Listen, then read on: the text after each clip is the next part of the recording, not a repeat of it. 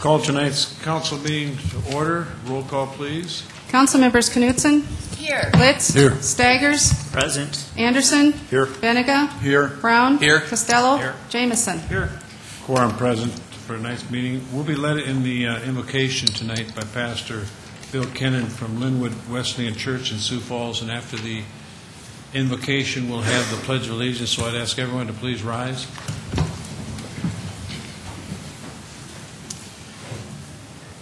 Our Heavenly Father, we're thankful tonight that you have a divine agenda. And we're doing our very best here to have our agendas fit your agenda. And you've told us in your words that man makes his plans, but you ordain his footsteps. And so here tonight we yield to you, and I ask that you would bless these officials, that you would bless those who are here to make discussion and present things. And we pray that your will would ultimately be accomplished and that you would bless this beautiful city of Sioux Falls. We pray all this in Jesus' name. Amen. pledge allegiance to the flag of the United States of America and to the republic for which it stands, one nation under God, indivisible, with liberty and justice for all.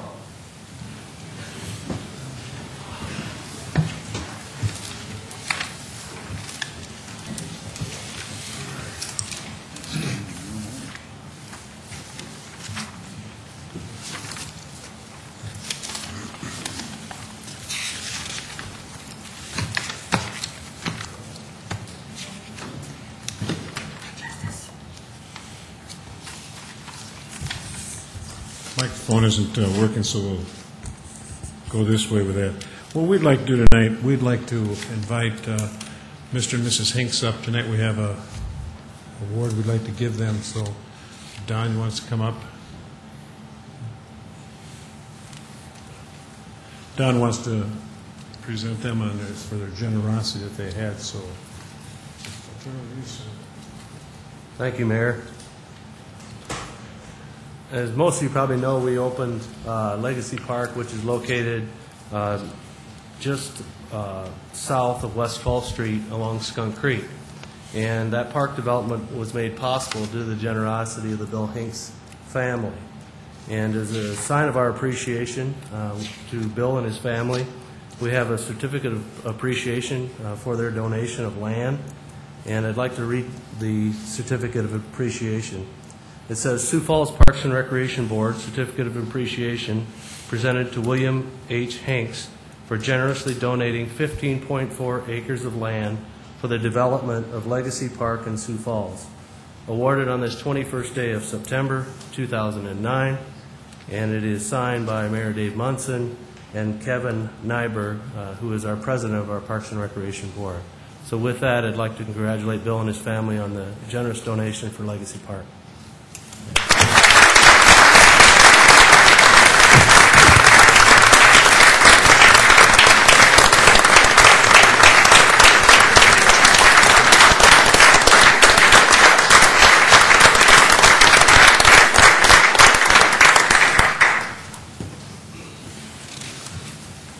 Also, Sean Irvine, that uh, the chair of the City of Sioux Falls Board of Historic Preservation. I'd invite Sean, is he here tonight?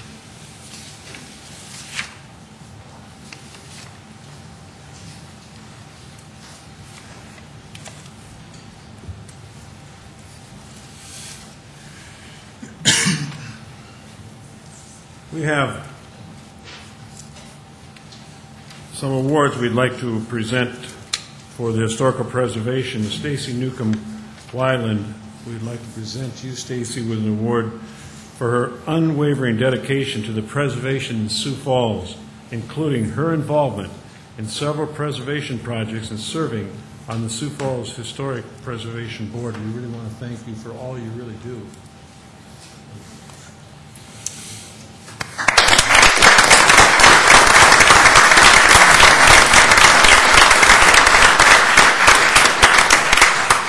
Here's one, I, I hope that, uh, I don't know if the picture's out there, but the picture of the house that we, that Jesse Casper really did on the uh, renovation exterior of his home at 707 South Lake Avenue really has restored that house to uh, the historical uh, significance of what it was, so that we'd like to present him with with one as well.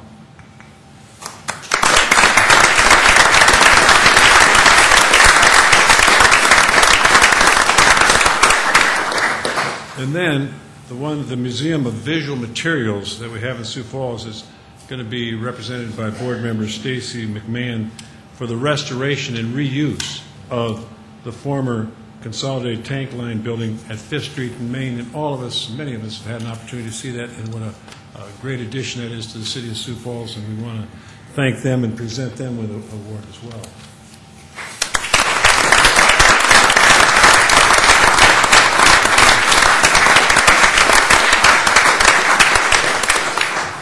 I- did Chris, and, uh, Chris uh, Gangden, I don't know if they got here tonight. Okay, didn't Keating come for the preservation uh, of the former fire station that we have in 22nd in Minnesota, of the restoration that he did on that. We want to recognize him for his work on that. So with that, uh, it really shows that these people have a commitment to keeping Sioux Falls the historical significant city that we all enjoy living. So I want to congratulate him again and thank him.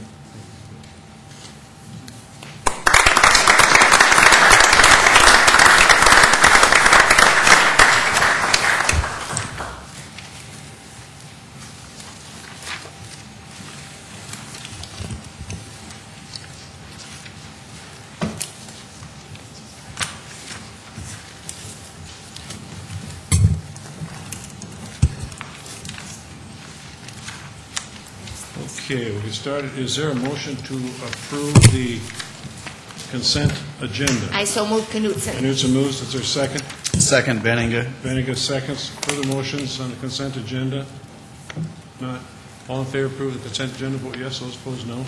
Councilmembers Knutson? Yes. Litz? Yes. Staggers? Yes. Anderson? Yes.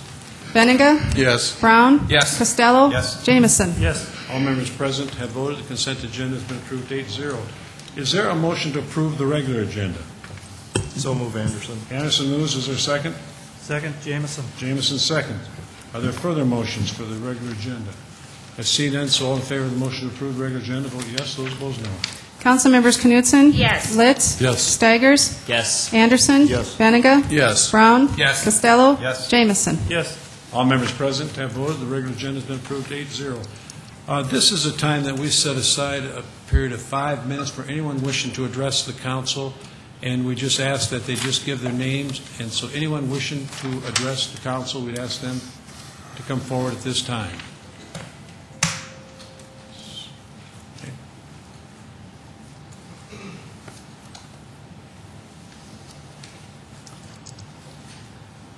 Is this for a special assessment for tree No, that'll, that'll be coming up, so if you want to wait, thank you. Anyone that wishes to address the council for a, a five-minute period for public input? Ernie Vay, I'd just like to address the council on a problem I have with a bill from the city. For, is it on tonight's agenda at all, or is this outside of the agenda tonight? I'm not sure what the agenda is, sir. Uh, what, what's your, what, what's your bill? removal. Snow removal. I think that's coming up, so, so that you're, you'll be coming up here when we get to the snow removal, so if you want to wait, that'd be Thank fine. you. Thanks, Bernie. Others that wish to address the council for a period of five minutes public input, if, if you're gonna, if it's on the agenda, we will get to you at that time. Uh, Seeing no one come forward for public input, we will move into the regular agenda, item number eight. Item number eight is a new 2009-2010 package malt beverage license for Maketh Gak Sudanese General Store to be operated at 623 West 11th Street. Item nine is a transfer of a 2009 retail liquor license from Sioux Falls Catering Company Incorporated, Holiday Inn City Center, 100 West 8th Street, to SFLL LLC City Center Lounge to be operated at 100 West 8th Street, including Sunday sales and video lottery terminals, full-service restaurant, conditional use permit not required.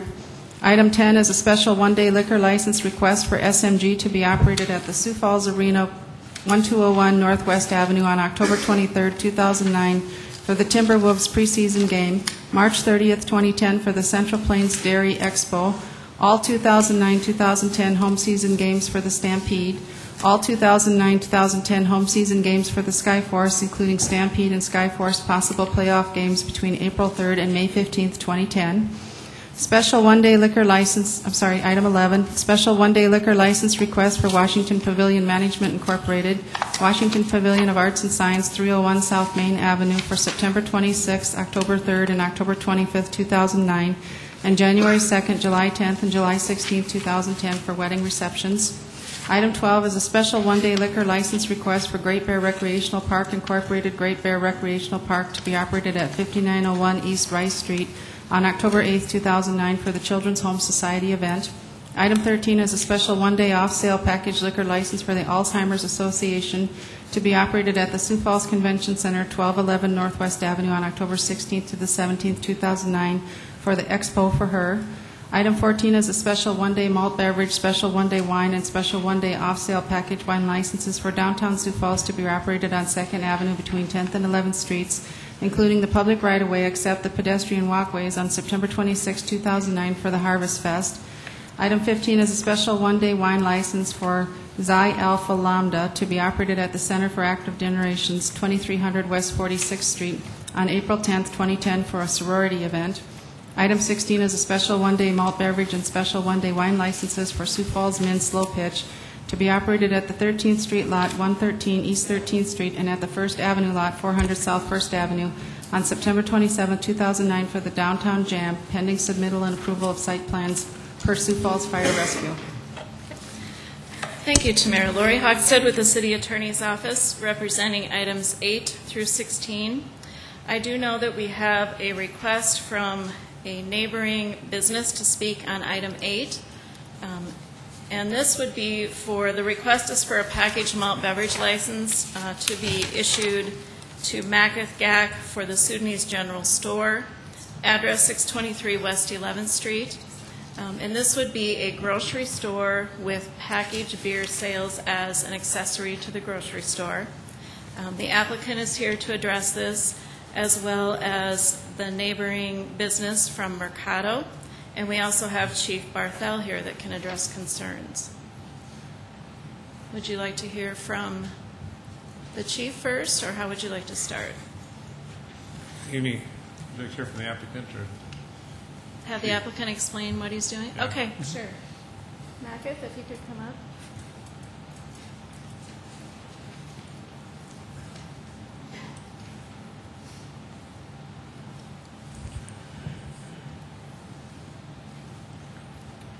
Just give your name and then tell about what your business would be. Your business, and then speak into the Okay, my name is Kath Gak, and uh, my business is going to be mostly grocery store with uh, some a little bit of basic beer that I will be selling alongside the grocery food store.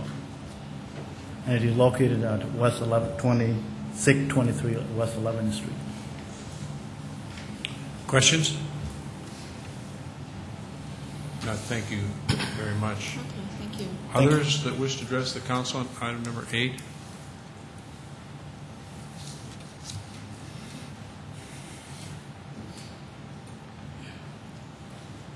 Uh, my name is Balai. Uh, I almost five years. Uh, I, I'm running. Okay, I have a liquor license, and I'm the owner of Mercato convenience store, a, a liquor store, and really, uh, these times uh, you give me to speak my mind uh, and to put some points forward to you. I am very happy. Uh, my point is, uh, the Sudanese store, the gentleman came here to get the, applied for liquor store. Uh, that would be the next, just the next door of my store. So I don't know how you guys mm, see this.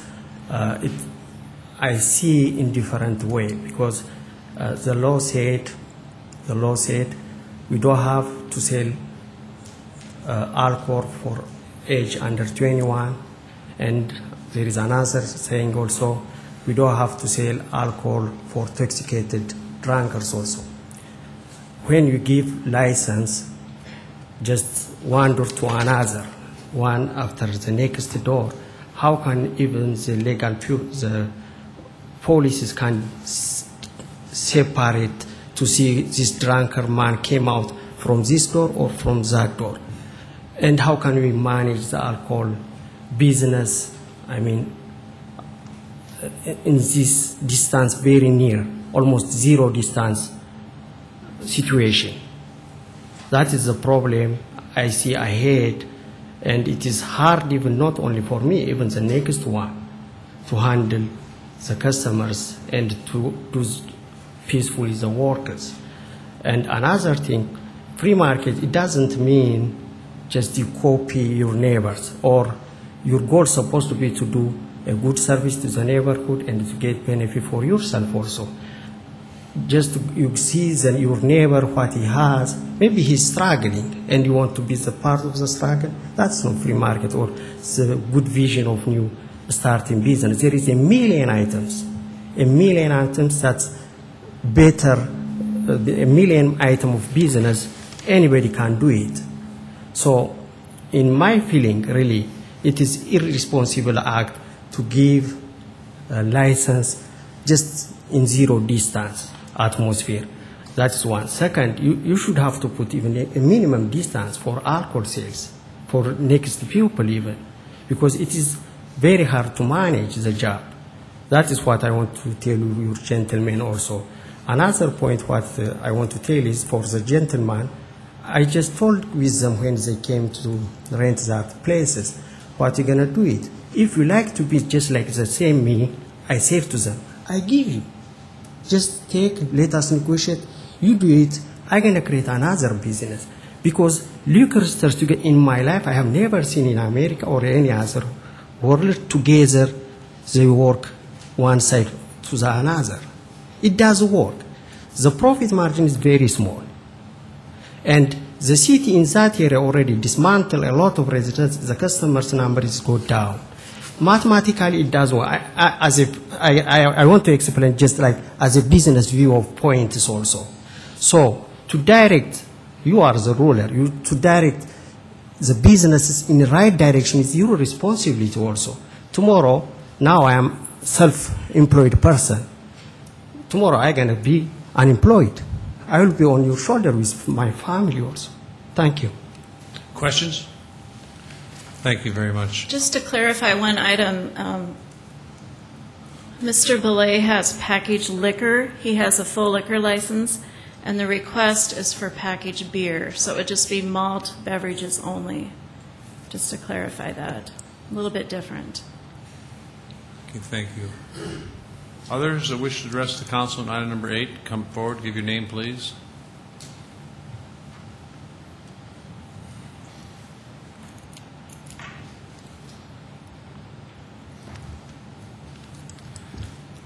My name is Nick Clausen. I live at 2904 South Gibson Avenue.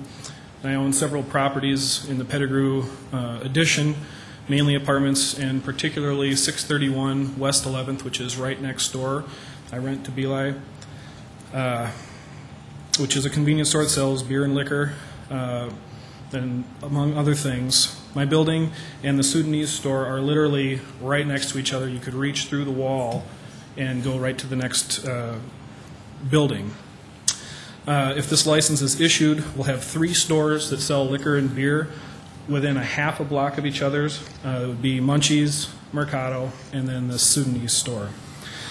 Uh, The problem that I have is I own a laundromat in the building uh, at 631 uh, West 11th, and I'm constantly struggling with alcoholics that are looking for a place to drink beer and pass out. Uh, We don't need another liquor store. Uh, Beli and myself have been working on the loitering and panhandling around our building, trying to clean up the, the area, and we're just starting to get a handle on it. Uh, Wanted to be just one more place for uh, these people to hang out where I can't get rid of them because it's not my property. Uh, If there isn't something already in place uh, to space these types of businesses out just a little, uh, there should be. If there's nothing, then we should at least consider the neighborhood and the revitalization that the city is working on. Adding this license would not move the neighborhood or the Pettigrew addition in the direction the city or myself are envisioning. Uh, Please do not put another liquor store in my neighborhood. Thank you. Questions? Thank you very much. Others that wish to address the council, come forward give your name, please.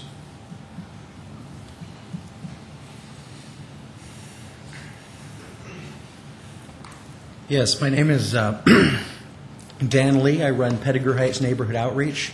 For the last three years, I have been doing extensive ministry and other out community development efforts in Pettigrew Heights. And uh, I just have to say that a, a great deal of our efforts are wasted on people who are alcoholics panhandling, looking for handouts, and just looking for a place to pass out drunk.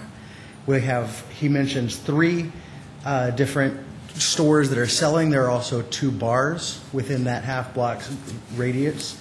And uh, there's just an enormity in that one small stretch of availability of alcohol for people to walk up, drink it, and pass out on the streets, which just causes an overburden of problems that our kids are witnessing and our kids are absorbing.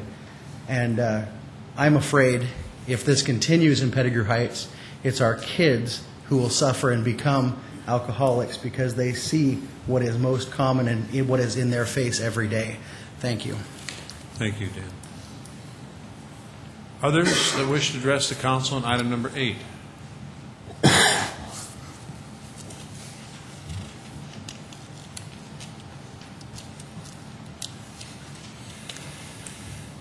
Good evening, Doug Barthel, Police Chief. Uh, I was asked to just give a brief synopsis of the number of police calls and concerns that we've had in that area.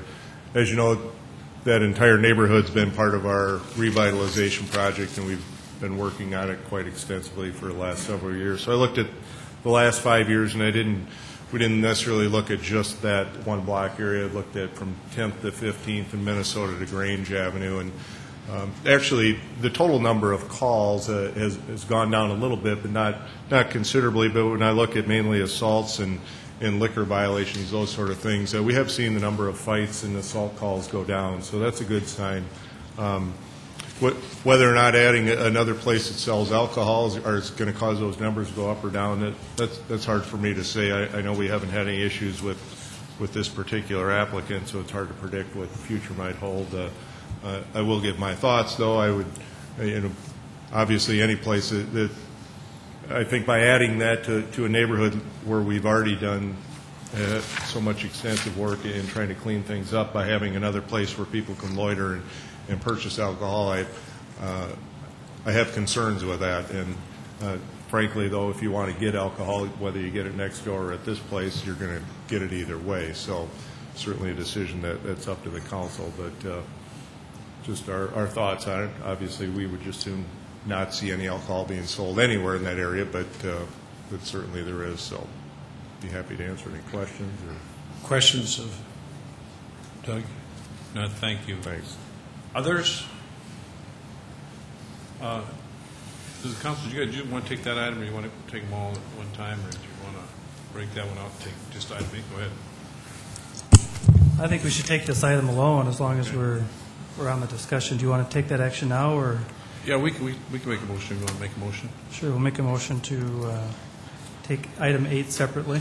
Second, let's, Well, yeah, we, I don't think we can just do that, but if you, you want to, Move, uh, move for approval then, one through. of item number eight? Um, Could I add to that, Greg?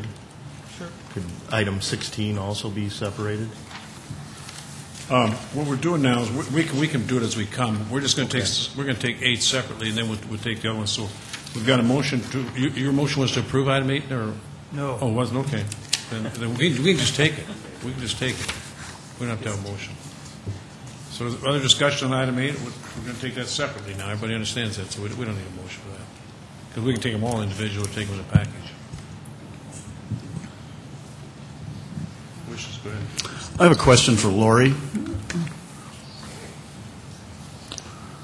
Lori, can you give me some idea on what percentage of uh, Mr. Gach's uh, general store will be uh, dedicated towards packaged liquor sales? I cannot, but we can certainly call him back up and ask him that.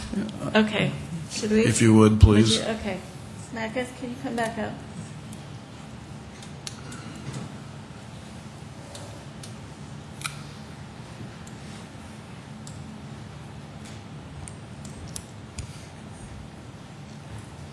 Uh, Thank you. I don't have an exact number, but uh, if I were to estimate, I would be talking about 30%, 20%, but I don't have an exact figure because I haven't bought anything yet.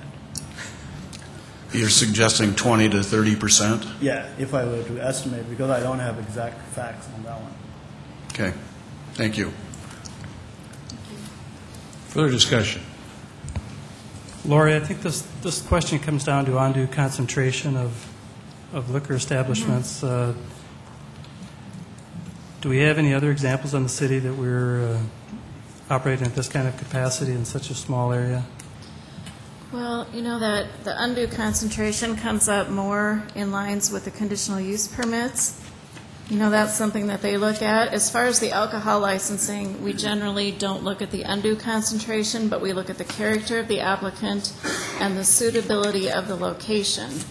And, you know, you certainly could use suitability of location in determining if there are too many in one area.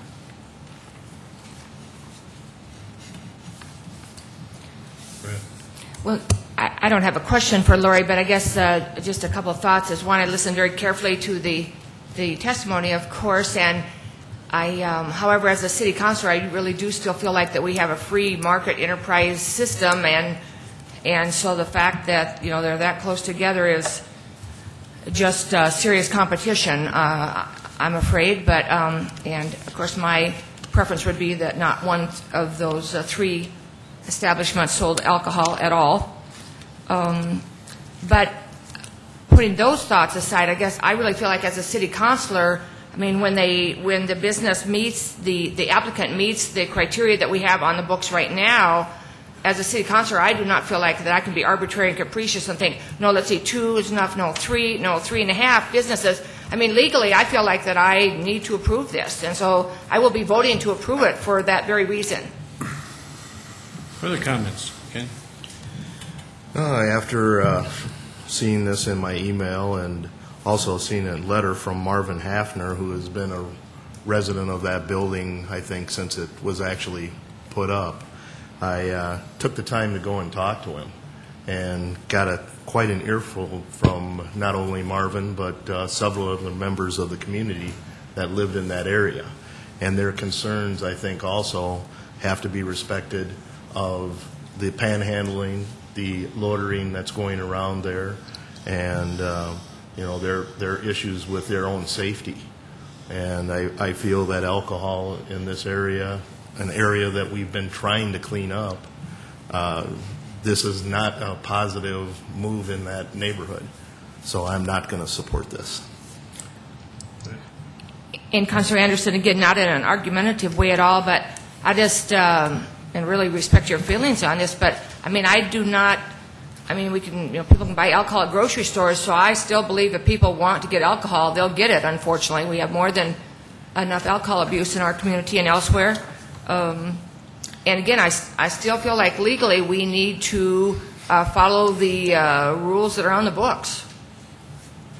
And with all respect on that, if I can reply, um, I understand that too, and, uh, but we also look at video lottery bars, we, you know, different type of businesses that are alcohol, and we are constraining them at this time also. So once again, it's, it's a distribution of alcohol that we should look at, and the area, and make sure that we're taking care of our neighborhoods too. So, thank you. As, as far as the video lottery, we have an ordinance in place that we have to follow for distancing requirements, which is why we do look at that. As far as just an app, alcohol application without video lottery, which this one would not even be eligible, um, the two criteria again would be suitability of applicant and suitability of location. Ahead, Kermit. Yes, uh, in regard to this issue, I guess I'm a little concerned here about picking winners and losers. For example, we've already picked King's Casino to be a winner. We've already picked Munchies to be a winner, Mercado to be a winner, Lucky Lady Casino to be a winner, La Costane Mexican store to be a winner. But now we're coming down to this uh, individual, and we're going to say, you're going to be a loser. And I don't think that's appropriate. I feel very uncomfortable that we're going to be, we've already picked some winners, and now we're going to say this individual's a loser. Go ahead. Lori, I just need to clarify, uh, this is a grocery store? Yes, a grocery store. How big a store? How How- big, a- it's not a convenience store, but it's a true grocery uh, store? We'll have to ask him. Macus, once more.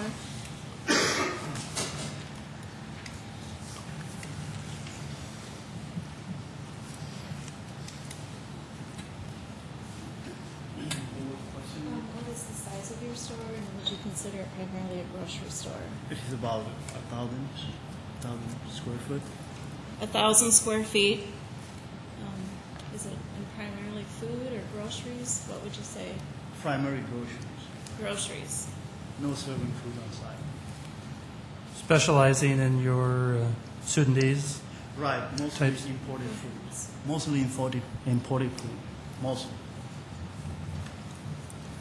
J- Just Lori, this seems like a natural use for a grocery store to have a, uh, the opportunity to sell beer. Is that, doesn't seem unreasonable, does it? No, I, we have, every other grocery store in Sioux Falls does sell alcohol. Whether it's beer or now more and more of them are, are the complete liquor. That's correct. And was the grocery, how, how long has the grocery store been there? How long has it been there? Approximately two months. Two months. Okay, thanks. Thank you. Further comments? Lori, can you remind us what the building use was before this gentleman took it over? I'm not actually sure what it was before he took it over. I don't know if his, Macus, do you know what it was before? Maybe you should just stay up here. You just sit right there next time. Do you know what it was before? Yes, the premise used to be uh, like a Sudanese coffee shop. People used to be coffee shop. Okay. Like coffee shop, people drink coffee there. Thank you, and my apologies for running you back and forth. You just sit there. We're done. Thank you. I move for uh, approval of item number eight, uh, Knutson. Knutson moves. Is there a second to that motion? Second, Jamison. James- Jamison seconds the motion to approve item eight only. So further discussion, item eight. Not, is uh, all in favor of approving item eight will vote yes. Those opposed will vote no. Councilmember Knutson? Yes. Litz? No. Staggers? Yes. Anderson? No. Beninga? Yes. Brown? No. Costello? Yes. Jamison? Yes. Passes five to three. That motion has prevailed, five yes and three no, so item eight has been approved. Um, Now, is there any questions? Litz go list nine, 10, 11, 12, 13, 14. Is there any questions that anybody has on those? Or would you like to take those all in one vote, or does anybody have, if you're comfortable taking items, we'll take items nine through 14 with one vote. I move for approval of items number nine through 14, Knutson. Canusa moves, is there a second? Second, Litz. Let's second. Uh, Go ahead. Just looking at that again now, let's see here. Okay, nope, that's fine. Okay, we're going to take nine through 14, and the motion been made and seconded to approve those items. All in favor of the motion to approve those items, nine through 14, will vote yes, those opposed, no. Council Councilmembers Knutson? Yes. Litz? Yes. Staggers? Yes. Anderson? Yes. Beninga? Yes. Brown? Yes. Costello? Yes. Jamison? Yes. All members present have voted. Item 15 will be noted that uh, Councilmember Beninga will be excused from item number 15. Is there further discussion on item number 15? Not, is there a motion? Move to approve, Brown. Brown moves, is there a second? Second, Jamison. Jamison second. Further comments on the motion to approve item number 15? Seeing none, all in favor of that motion, vote yes, those opposed, no. Councilmembers Knutson? Yes. Litz? Yes. Staggers? Yes. Anderson? Yes. Brown? Yes. Costello? Yes. Jamison? Yes. That motion prevails, seven yes, one excused. Item 15 has been approved. Item 16.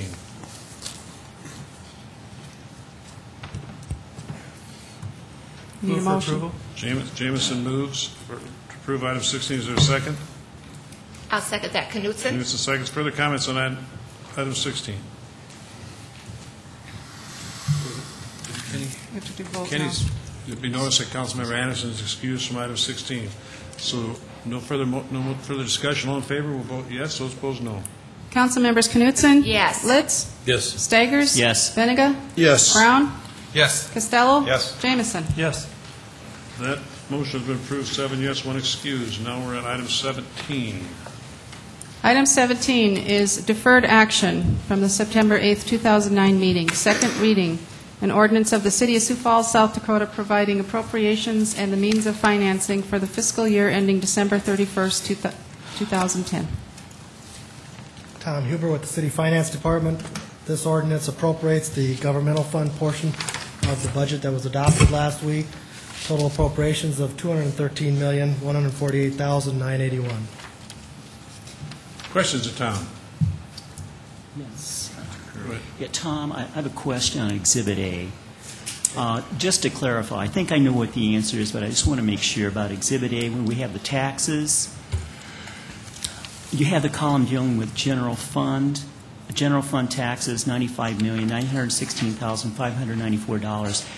Um, In that general fund, is is that the first penny sales tax and also the property tax? That is correct. Okay. And then, once again, just to clarify, the second column, sales use tax fund, that's the second penny. That's the second penny sales. tax. Thank you. Further questions? Others that wish to address the council on item number 17? I move for approval of item number 17, Knutson. Motion moves. Is there a second? Second, Litz. Litz seconds. Further comments on the motion to approve? Go ahead. Yeah, Mr. Mayor, I have an amendment. Okay. Um, I move to amend the ordinance by deleting the last paragraph and inserting the following. Here's the insertion. In accordance, in accordance with SDCL 9-21-19 and SDCL 10-13-35, the Finance Director is directed to certify the maximum property tax allowed by law, which will not include the property tax increase of 3% CPI amount of $1,221,036. The estimated amount is $41,711,730 of tax levies in this ordinance to the Minnehaha and Lincoln County auditors. Okay, that's a motion. Has it been seconded? That motion dies for lack of a second. Further comments? Go ahead. Um, Unfortunately, you know, uh, the city council uh, is going to allow for this property tax increase. However, in order to provide greater transparency to the public, I move to amend the title of the ordinance by adding on the second line after the word financing the following phrase, quote, "to include a 3% property tax increase." That, that's your motion then? Yes, it Okay. is. Is there a That's the second to that amendment. motion? That motion dies for lack of a second. So we're back to the main motion that was made and seconded. Further comments? Not? Go ahead. Well, um, this evening, it, it seems like we're going to be like the U.S. Congress, because oftentimes what happens in the U.S. Congress, you have a bill uh, that's introduced, and uh, a lot of good provisions in the bill. And then what happens, you start having people adding stuff to it and adding stuff to it, and then it makes it more difficult for a senator or House member to actually vote for the bill. You- You're in a real bind. There's good in the bill, and then there's not, there are items in the bill that are not good. And that's the same way with this appropriations bill. There is worthwhile spending in this appropriations bill. However, there is some wasteful spending in this appro- appropriations bill. Plus the fact we do have a property tax increase of 3% for next year. And also, we also lack the transparency in the title to make it very clear to the people, if they're just looking at titles of ordinances, that there's a property tax increase here. So this is a real dilemma. There is good and there's bad with the appropriations bill. However, uh, I guess when it comes to the final vote here for this appropriations bill um, for 2010, um, I will be voting for it with some reluctance. Thank you. Further comments? Been motion been made and seconded. Seeing none, all in favor of approving item 17, vote yes. Those opposed, no. Council members Knutson? Yes. Litz? Yes. Staggers? Yes. Anderson? Yes. Beninga? Yes. Brown? Yes. Costello? Yes. Jamison? Yes. All members present have voted. Item 17 has been approved, 8-0. Item 18, Item 18 is a second reading, an ordinance of the City of Sioux Falls, South Dakota, approving the release of a portion of the permanent utility easement in Lot 3, Block 2, Westwood Valley Addition, Minnehaha County. Good evening, Chad Huwe with the Engineering Division of Public Works. This utility easement is located west of Ellis Road between 26th Street and 32nd Street. This property is in the process of being developed, and it has been determined that the easement is no longer needed. The property owner is requesting the easement be released. Engineering recommends approval. Questions of Chad on item number 18? Others that wish to address the council on item number 18? Is there a motion to approve? So moved, Costello. Costello moves. Is there a second? Second, Litz. Litz seconds. Further comments on that motion? Seeing none, all in favor of the motion to approve item 18, vote yes. Those opposed, no. Council members Knutson? Yes. Litz? Yes. Staggers? Yes. Anderson? Yes. Beninga? Yes. Brown? Yes. Costello? Yes. Jamison? Yes. All members present have voted. I- Item 18 has been approved 8-0. Item 19. Item 19 is a second reading, an ordinance of the City of Sioux Falls, South Dakota declaring certain real property of the city surplus and authorizing the disposition thereof. This 1.9 acre parcel is on the west side of Cliff Avenue, just south of Amidon Street. Originally, this parcel was purchased by the South Dakota Department of Transportation in fee title with no reversionary rights. In October of 2008, the South Dakota Department of Transportation conveyed and quitclaimed this parcel to the city of Sioux Falls. In August of 2009, the city council vacated this right-of-way at the request of the adjacent property owner to the west. With no reversionary rights, the property is now owned by the city of Sioux Falls. The appraised value of this property is $49,600 and is zoned industrial. This ordinance will declare this property surplus and allow us to dispose of it. Questions of Chad on i- item 19? Others that wish to address the council on item number 19? Is there a motion to approve? So move Anderson. Anderson moves. Is there a second? Second, Beninga. Beninga seconds. Further comments on the motion to approve item 19?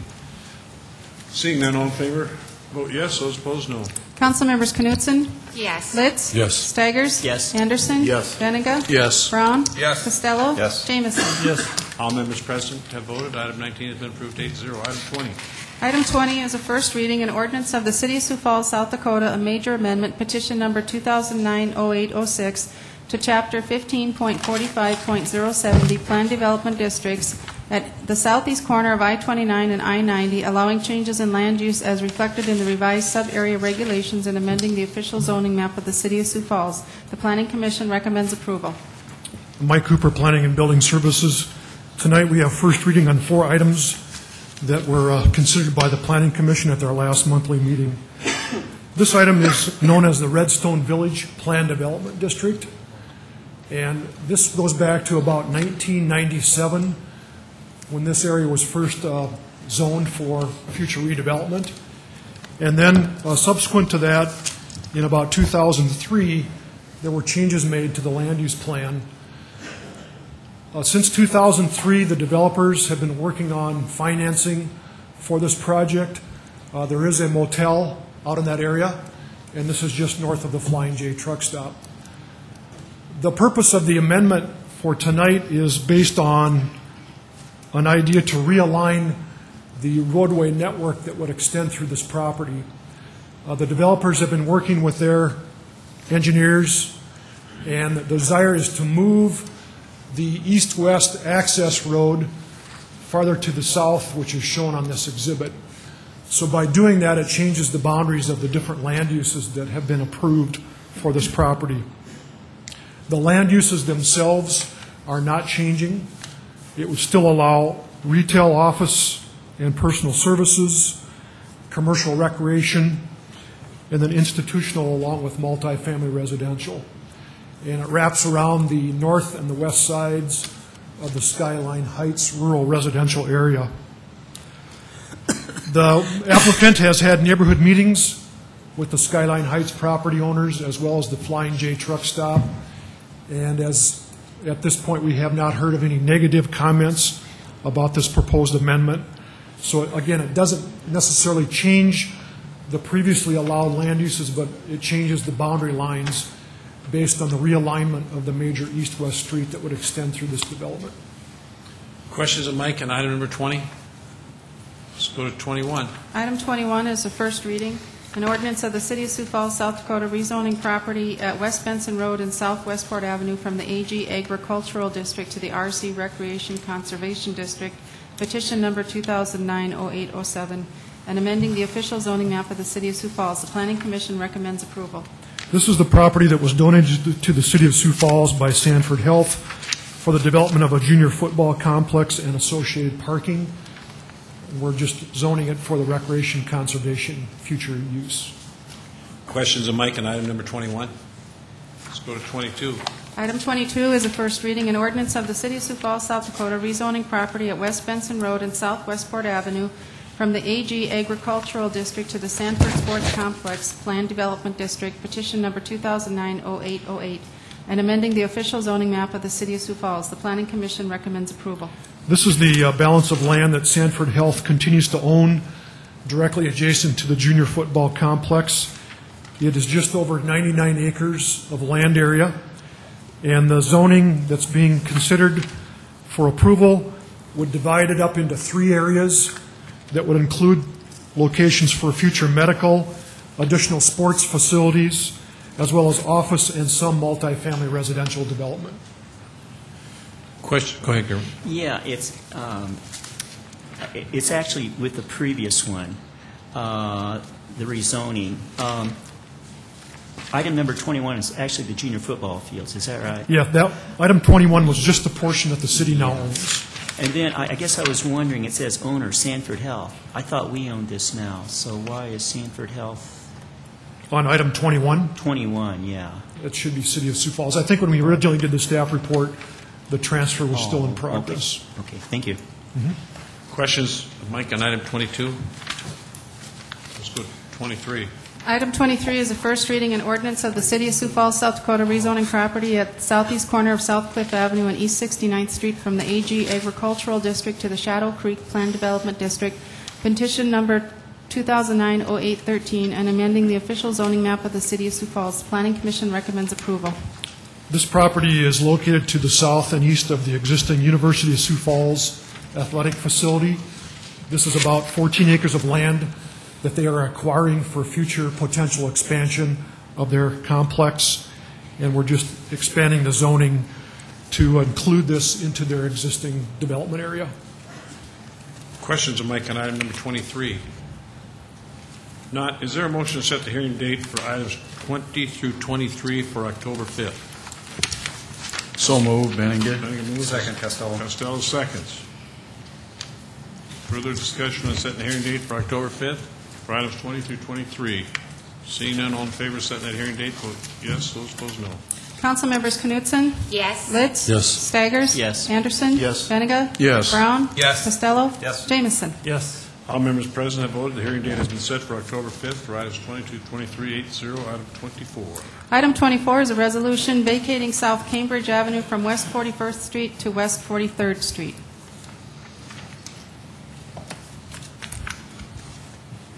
Chad Huwe with engineering. Uh, This right-of-way is south of 41st Street between Marion Road and Valley View Road and is improved. If the right-of-way is vacated, a utility easement will be maintained. The petition was submitted by Peace Lutheran Church. On your map, the church owns parcels A and B. Parcels C and D are privately owned, but those owners did sign the petition. The church plans to use this vacated right-of-way to expand their parking lot and for possible future building expansions. Neighborhood meetings were held on August 20th and September 10th.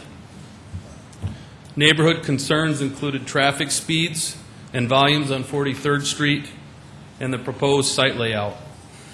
Engineering conducted traffic counts and a speed study on 43rd Street and presented this information at the neighborhood meeting on September 10th. The petitioner is present tonight to answer any of your questions, and engineering has no opposition to the right-of-way vacation. Questions of Chad on item 24? Others that wish to address the council on item number 24? Council discussion? I move for approval of item number 24, Knutson. Knutson moves, is there a second? Second, Costello. Costello seconds. Further comments on the motion to approve item 24? I see none, so all in favor, vote yes, those opposed, no. Council members Knutson? Yes. Litz? Yes. Staggers? Yes. Anderson? Yes. Beninga? Yes. Brown? Yes. Costello? Yes. Jamison? Yes. All members present voted. Item 24 has been approved 8-0. Item 25. Item 25 is a resolution approving the special assessment role for nuisance removal in various areas in the city of Sioux Falls, South Dakota. Good evening, Mayor and City Council. Mark Cotter with the Office of Public Works. To start off tonight, earlier today, we delivered a council memo that addresses a few of the items in this, in the litter section of these assessment rolls. The original assessment roll that you have, this is item 25, and there's 25 assessment rolls, okay? And so, as you, as they're categorically separated, 1 through 25, um, I'm going to hit a couple of them, and then I think we'll ask the clerks to actually um, correct some of the totals. First of all, number 20, number, item number three, this property was in the, is in the midst of a sale and transfer when, um, after the cleanup work was completed and we submitted the invoice, the property transfer took place, and so we don't think it's responsible to actually levy this assessment on the new owners when the previous owners did it. And so we would request to remove number three, and we'll use normal means uh, through uh, sending the previous owner a bill for the work that was done to clean up this property. Is is that, is that eight, uh, 845 South Day? It is, You Mayor. want to withdraw that one? We want to withdraw that one from Okay, this. Notice that one will be withdrawn. That's right. Okay, go ahead. And then item seven, item nine, item 10, item 11, item 13, and item 21 did have a math error, and so we've corrected that. We've also submitted a new resolution roll, and if the, um, I can certainly read the numbers, or the clerks can read uh, the corrected math ones, they've all uh, been reduced. You want to handle that? Yes. Um, Council members, on the sheets that I handed out to you earlier, I s- divided the sections. Item 25A is tree trimming removal. Item 25B is snow removal. Item 25C is snow removal Lincoln County. Item 25D as in dog is litter removal Minnehaha County, and Mr. Cotter is referencing D as in dog. The sheets that he distributed earlier to me um, are the blue sheets that I'm going to be reading to you for the amendments. Is that okay, Mayor? That's fine. That's good. I will need a motion and a second to change the dollar amounts as I read them to you. If I don't read the item number, it means there's no change in the dollar amount. Um, Item number seven, on Minnehaha, these are all on Minnehaha County litter removal. Number seven was $811, changed to $641. Item nine was $801, changed to $721.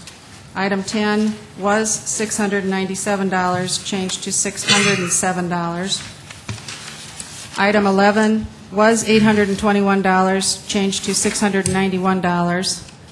Item 13 was $1,041, changed to $761.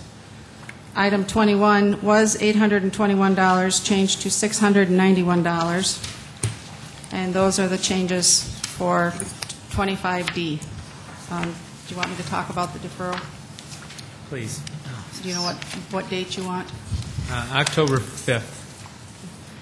If I can have a motion and second on the changes that I just read, please. I so move uh, on the um, uh, changes Uh, that... We got to have a motion to approve these, and then we have to go to, so we got to have a motion to approve the Oh. items, uh, was it 1 through 25? Is that the first one we're taking? Yeah. We're taking, one- that's going to be the first one, isn't it?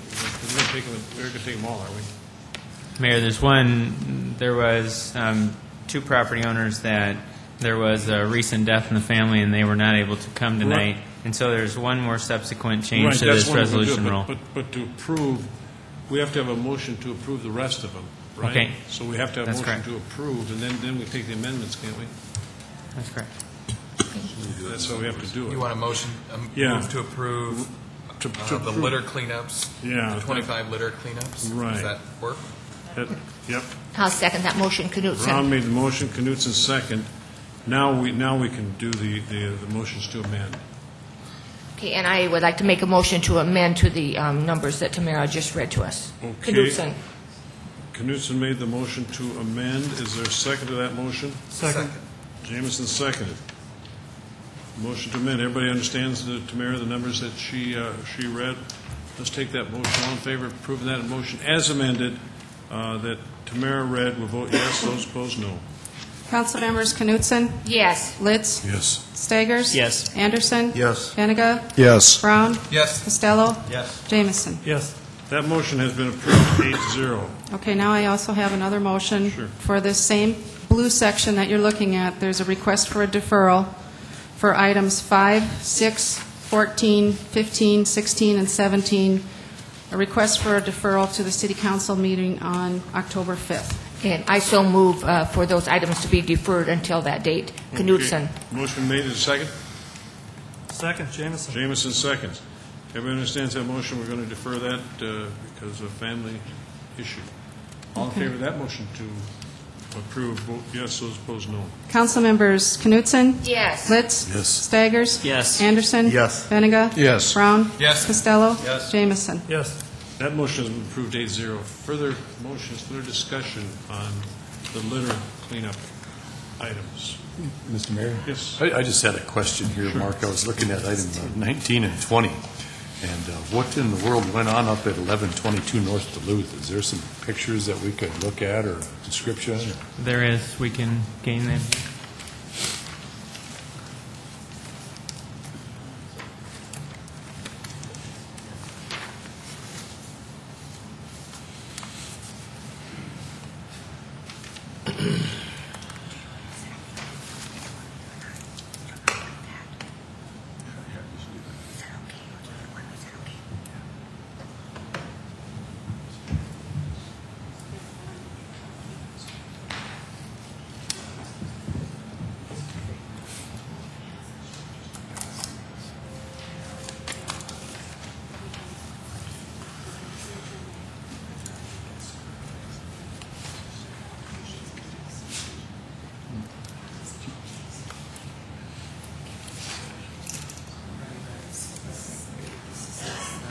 We can just simply page through, but there was an extensive amount of litter to be removed from this property, and um, I'll s- check my notes, but I think that there was a semi-load of material and a subsequent dump truck load of material that came out of this backyard.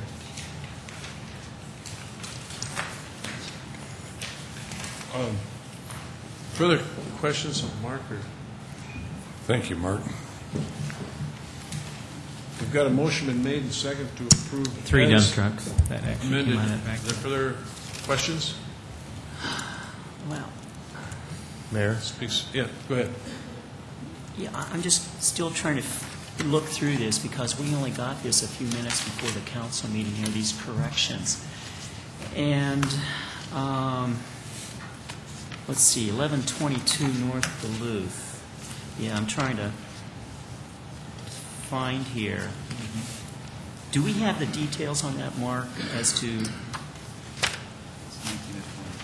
Oh, next.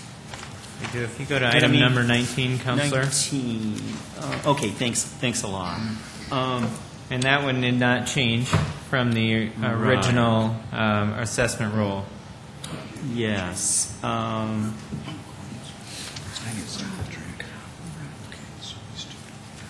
I think too, as you, um, we can certainly page through some of the cleanups, but this one was extensive in the back and um, yard, and certainly poses a significant public health, and um, that was the amount of effort it took to clean this property up.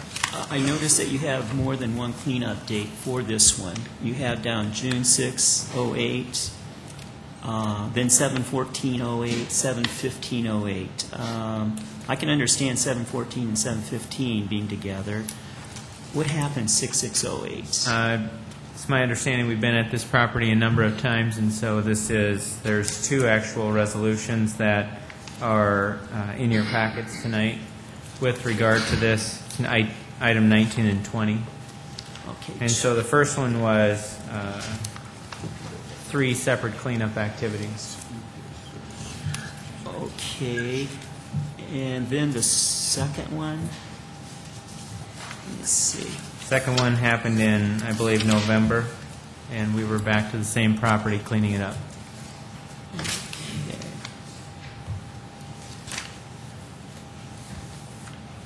we have any after pictures? Yes, toward the bottom. Uh,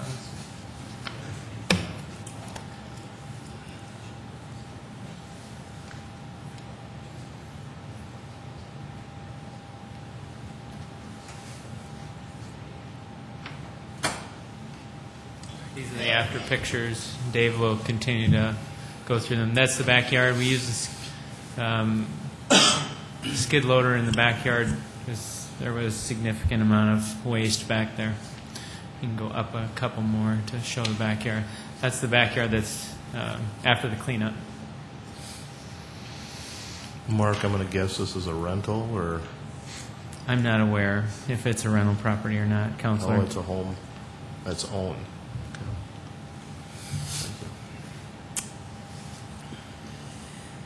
Further questions? Others, anyone else wish to address the council on items number 1 through 25 on litter? We've got a motion been made and seconded to approve as amended. Is there further discussion? You know, on- once again, I I haven't had time to to really look at this, uh, these details on the cleanup. Uh, I just happened to notice here, I'm, like I said, I'm just, I've had this for a short time, but taking a look at the first one, 219 South Summit, um, we have work being there done on March 18th, '09, from 10:30 a.m. to 12:30 p.m. And we have uh, a supervisor there at $48 per hour. And then we have three service workers at $30 per hour. Um, I don't know, I I guess on some of these, I- I'm wondering, why do we have supervisors there? You just tell them, hey, clean this up and Well, the- come back and look. Uh, Yeah. Excuse me. The first, um, when we get a notice that the complaints come in, and, and Health Department facilitates this, and then um, Public Works actually performs the cleanup activities. And for this instance, we, as you can see on all of these, there can be a varying degree. It could be um, one small pile, or it could be an entire backyard.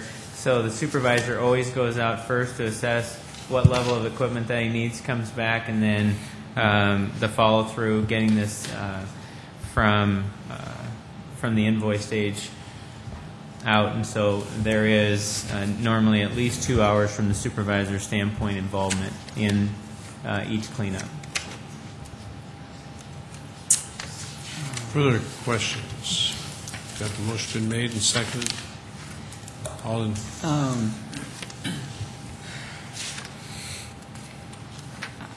I don't know, then on 1510 South Cliff, trash bags, 20 bucks. Um, They, um, obviously, as we look at it from a manpower standpoint, equipment and supplies, um, the, they assess w- what level of supplies that they've used to clean up the properties and um, uh, bill accordingly. It's obviously a significant public health issue with not only uh, the adjacent properties, it's the entire neighborhood. So it's very important to get these properties cleaned up. Well, I, I guess, you know, since I haven't had time to look at these, I I move that we defer this to the next meeting so we can talk about uh, after being more informed. Yes. That's substitute motion? Yes, it is. it's got a substitute motion to defer until the next meeting, is that October 5th? I- I believe that's right. Is there a second to that motion? That motion dies for lack of a second, so we're back to the main motion as amended. All in favor of approving items 1 through 25 on the letter as amended will vote yes, those opposed no.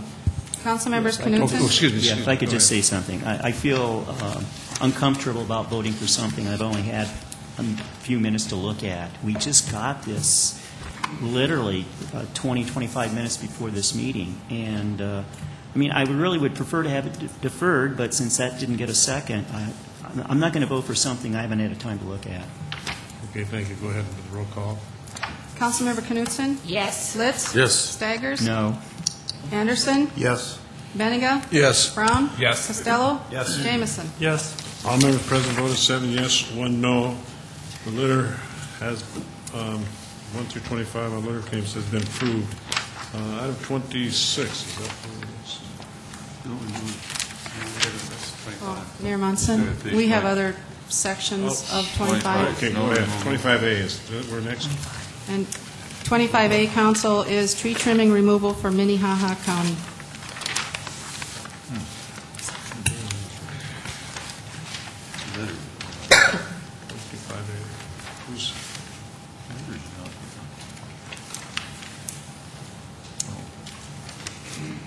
Don Kearney with Parks and Recreation. Uh, Staff are here to answer any questions you might have. So that's, item- that's that's items through 49. Uh, Item 25A, and there's a total of It goes from 1 to 49, is that right? uh, Oh, wait, 56. 56, There's yeah, excuse me. 56. Good to- Questions of Don or his folks on items 25A, items uh, 1 through 56? Go ahead. Yes, Don, I notice all these assessments are a flat $150. Is that right? Um, I believe that's the case. Yeah. Uh, Last Monday, uh, during the, uh, uh, when we talked about the budget, the plan for the city, how it's going to spend money next year, I had Amendment C to the budget. And Amendment C was to eliminate this tree trimming inspection program we have and then let the city be responsible for the trees. But there was one thing in my amendment, and these were numbers that I believe the uh, city clerk's office got from the Parks Department. And that is, for the tree trimming program, expenses is $10,864. Revenue, $19,800. Now, it seems like with those expense and revenue numbers, we're making money off of this program. And we've always been told we don't make money off of this. Can, can you say something about those numbers? Yeah, I I think I'll defer to Kelby uh, Maris, our operations manager. Oh, okay. Kelby?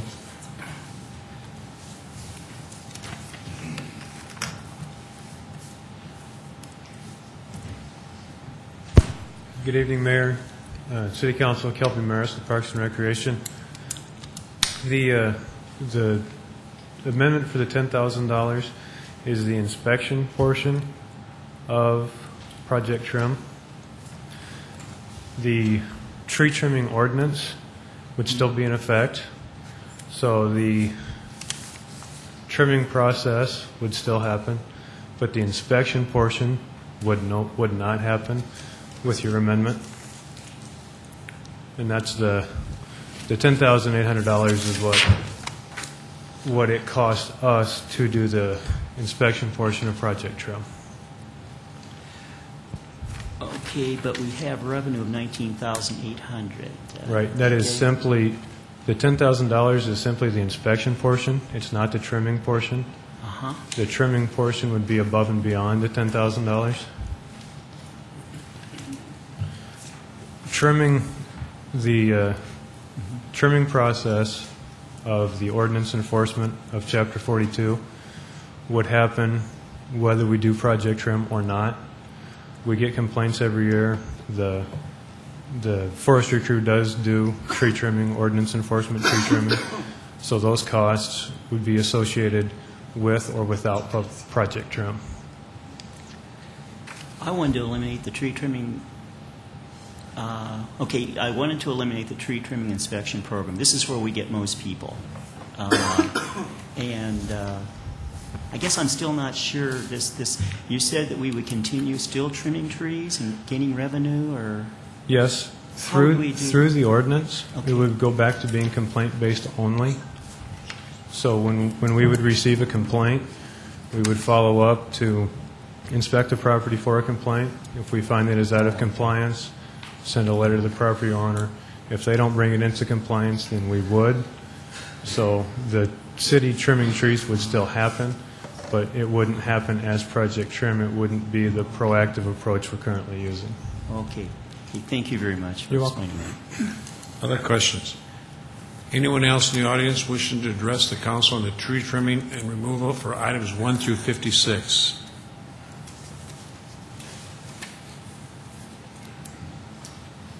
Good evening. Um, My name is Larry Anderson. at 2724 South Maywood Drive. I was sent a letter, I received a letter February 26th that my tree out front was uh, out of compliance and that I had till April 26th to uh, bring it into compliance. I at- attempted myself to bring it into compliance, compliance, and uh, apparently I misunderstood some of the heights, and uh, they billed me $150 on May 29th. I understood their reasoning and so forth, but then on June 15th, they did another uh, inspection and said I was out of compliance after the forestry had come out and trimmed the tree. Uh, So um, within two months or a month after the forestry trimmed the tree, they said I was again out of compliance. Since then, I have trimmed the tree, sent myself, and back into compliance.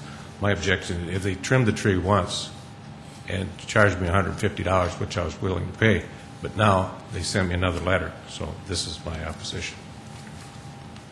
Any question? Okay, go ahead. Yeah, where is it, do you happen to have the uh, uh, assessment page where uh, you're trying to assess different people? In other words, where are you at on this list? Second one. Second Second- one? Second one. Okay. Maywood Drive. Okay, so, and you said you were assessed a second time? Right, I was, I was sent a letter February 26th. I had till 20 26th of April to bring it into compliance. That was because of a construction project that they were going to do in my neighborhood so that the trucks and so forth could go by Mhm. underneath it. But then uh, I attempted to bring it into compliance and misunderstood the heights. And uh, on the uh, forestry come along and took, oh, I would say two, three more branches off and sent me a bill for $150, which I, you know, $150 is, is a lot of money, but they don't want to do this, and they want you to trim the tree, and it's kind of a deferment. But then, on, uh, again, then, the inspection on June 15th, they come through with an inspection again, and this was done by the Parks and Recreation, Parks Department and Forestry Department, and they said I was out of compliance again. I mean, one, two months, or one month, you know, if you take your car to a mechanic and it don't last, you know. So they don't have the other 150 on this list? uh, Well, they, I trimmed it myself. Oh, oh, okay, I understand. Now, now it's in compliance. I, Okay. I took it out upon myself and and brought it well within compliance. When- When they trimmed it, it only lasted a month. Greg Junior and then Pat. Greg. I guess that's what I was after, is that you actually did the work.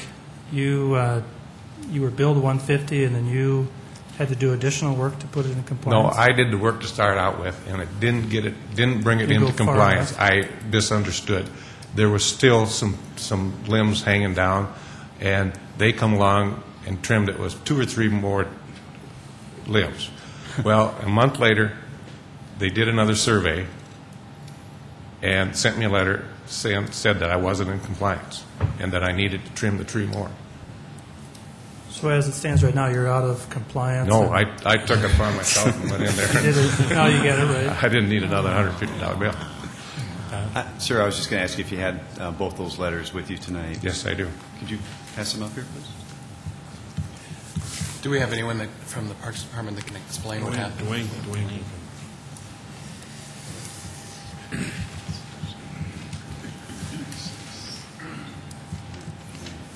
Good evening, Mayor, Council. Dwayne Stahl, representing Parks and Recreation. I'd like to give you a little background on this, uh, this case.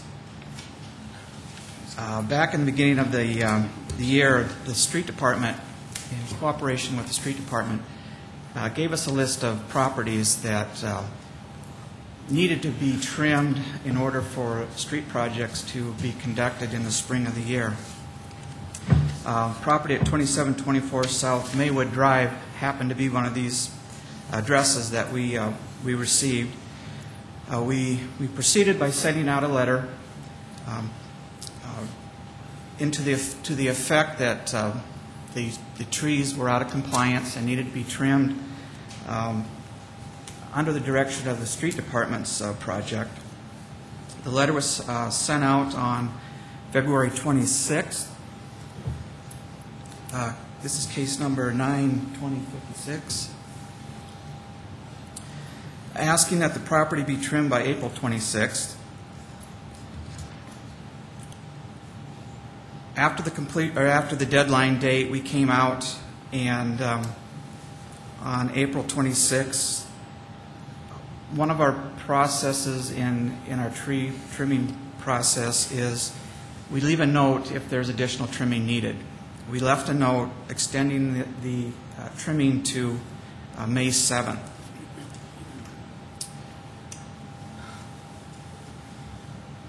We came back after uh, the 7th on uh, May 12th. The picture there is um, our uh, measuring stick over the sidewalk. The clearance height of the sidewalk is, is 10 feet, and um, I don't know on your monitors, can you see, can you see that very well? Well below 10 feet. So the, the original letter specified 10 feet over the sidewalk, 12 over the street. Uh, We left a note asking for additional trimming to be conducted over the sidewalk and the street. Came back, uh, it was still out of compliance, so we did trim it, as the letter said. You will note that uh, when this was done, this was pretty much in the dormant season. When we leave, the trees are in compliance, but trees grow. This property also happened to be within our project trim area for that, um, uh, our next phase, which on um, the week of June 16th, we surveyed the entire neighborhood. At that time, the trees had leafed out and had grown. Um, The biggest growing point of the time for trees is in the spring. Um, and That's why you can count rings on, on trees, because that's the fastest growing point of the, of the tree uh, growth spurt. So the trees were out of compliance, and to treat everybody the same, uh, it flagged up again. So in that same process, we sent another letter um, asking that the property be trimmed up to city uh, code, and um, it was, it passed inspection after that, that period. Any questions? Question, Dwayne? No, thank you. Go ahead, Pat. I guess I, I don't really have a question, but um, I support 100% this program and what we do accomplish with this. But I don't think you can send a guy a notice and then send him a bill and then later send him another notice he's out of compliance. It just doesn't make any sense. I mean, you, you, if I were him and it, I was in that situation, I would assumed that if the city came out or city hired somebody to come out to trim the tree and I was going to have to pay for it, that that was, you know, that was an acceptable job and it met the standard of what was needed. And the fact that it were that it was trimmed in a dormant time, I would think that the whoever trimmed it should be well aware uh, of what's going to happen a month later when all the when the leaves come out. I, I just think this is, doesn't make any sense. So I'm sorry, I support 100% what you're doing. In this particular case, this doesn't make any sense. Further questions? Go ahead. I, uh, I happen to agree with uh, Councilor Costello, you know, and I, I, I like this program. Uh, I've climbed up my own trees and trimmed them, but uh, for him to have another thing a month later, whoever trimmed those trees didn't do a good job, I guarantee my work, and I would expect whoever uh, did that tree job to do the same. So uh, with that, um, can I make a motion here at this time? Uh, If you can hold off, because we need to get a motion to, we're- we're going to go through it and to approve items 1 through 56. If we got a motion to approve items 1 through 56, then you can make a substitute, you can, ma- you can amend. Okay, very good. So moved, Mr. Brown, Brown moves, is there a second? Uh, substitute motion? What, just, we got to get. a Second, motion. Beninga. Beninga seconds. Now, now we're in the, we can, um, we got a motion to approve items 1 through 36. Now you can make a motion. I just, I'm just wondering if we're, if there's anybody else that wants to speak to their particular, um, Well, we can take one at a time, or, you know, we should probably take them one at a time. okay. Uh, what do you want to do with, with item number two? Uh, I want to delete item number two off that list. Okay, a motion to delete item two, that's your motion? Second. Okay, Costello made, a mo- who seconded that? Ker- Kermit? Mm-hmm. Okay, mm-hmm. Staggers seconded. Further comments on that motion? Everybody understand the motion is to delete item number two, the $150. Everybody understand this? Everybody, all in favor of that motion to amend will vote yes. Those opposed will no- vote no. Councilmembers Knutson? Yes. Litz? Yes. Staggers? Yes. Anderson? Yes. Beninga? Yes. Brown? Yes. Costello? Yes. Jamison? Yes. That motion prevails eight zero. That item two has been amended out. Uh, um, Others that wish to address the council on the tree trimming and removal for items one through 56? Anyone else wishing on the tree trimming? Come forward. I see no one come forward. We- oh, Go ahead. Yeah, if I could just clarify, uh, Dwayne, um, the $150 that we assess, of course, that's, that's the minimum we assess.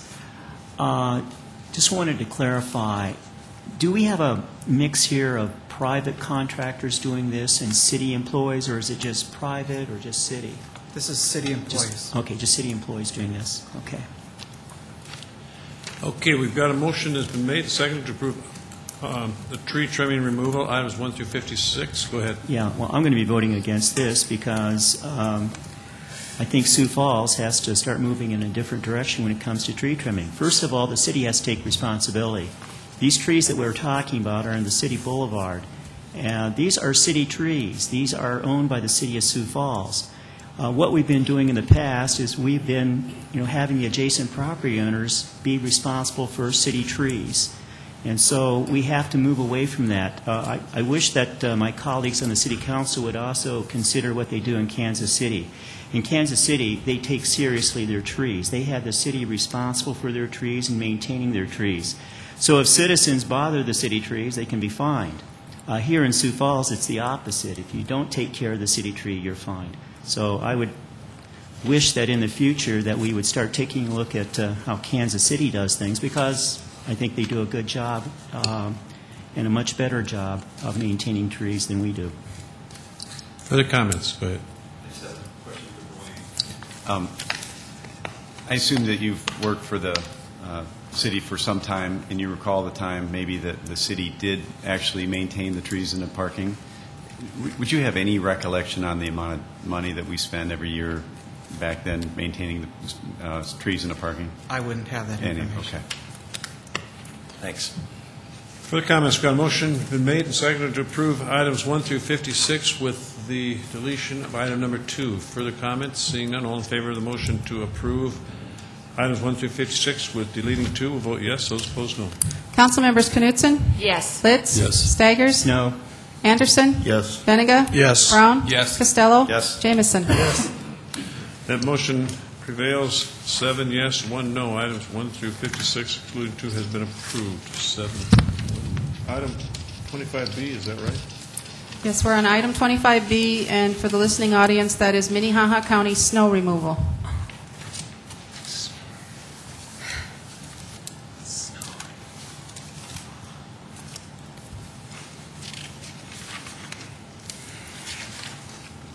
My name is Matt Nelson. I work for the uh, parking office for the city of Sioux Falls, and I'm responsible for overseeing the sidewalk snow removal program. Um, Before I start, I just want to give you a quick overview of the program and how we notify the citizens of Sioux Falls. The ordinance states that the owner or the person in possession of the property is responsible for clearing the ice or snow 48 hours after the last snowfall. Um, If they do not clear that within uh, 72 hours, the city is is supposed to go out there and clear that property for them, and they are allowed to uh, remove it at the owner's expense. Um, And that's what we enforce. Uh, We do our best to work with the citizens and make sure they know the process and give them more notification than is required in the ordinance. For the ordinance, it's required that they are notified, and it actually says specifically by newspaper. Uh, We do run notifications in the newspaper. Last year, these are copies of the notifications. Um, They ran on October 24th, October 25th, November 1st, December 5th, and December 6th. Another way that we notify the citizens is through the flyer that goes out. This is mailed out to all citizens. It talks about street snow removal. It also talks about sidewalk snow removal. It also talks about a program for people that may be uh, income or physically challenged, uh, that they can have that snow removed for free. And all that is in here, and it goes to all citizens. We also run a video there, on Channel 16. If you wanted to see it, we could sure show it for you, but it runs uh, throughout the snow season, and there's also, I guess, crawlers, as you'd call them, they're, they're scripts that go across the screen to remind people of the sidewalk snow removal program and and what they, what their responsibilities are. We go out to properties, the first time we inspect a property, we do attempt to uh, leave them a notice. We leave this on the door. This is a notification. It tells them that what they need to do to be in compliance. Uh, Oftentimes, additional notes are written on there, and there's a contact number where they can contact somebody if they do have questions.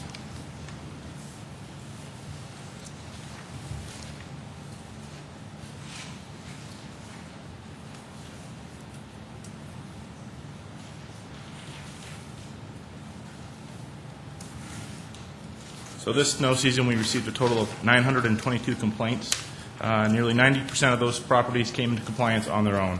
10.6% of those properties did not, and they required the city to uh, clear them for them. for them. That was 98 total properties.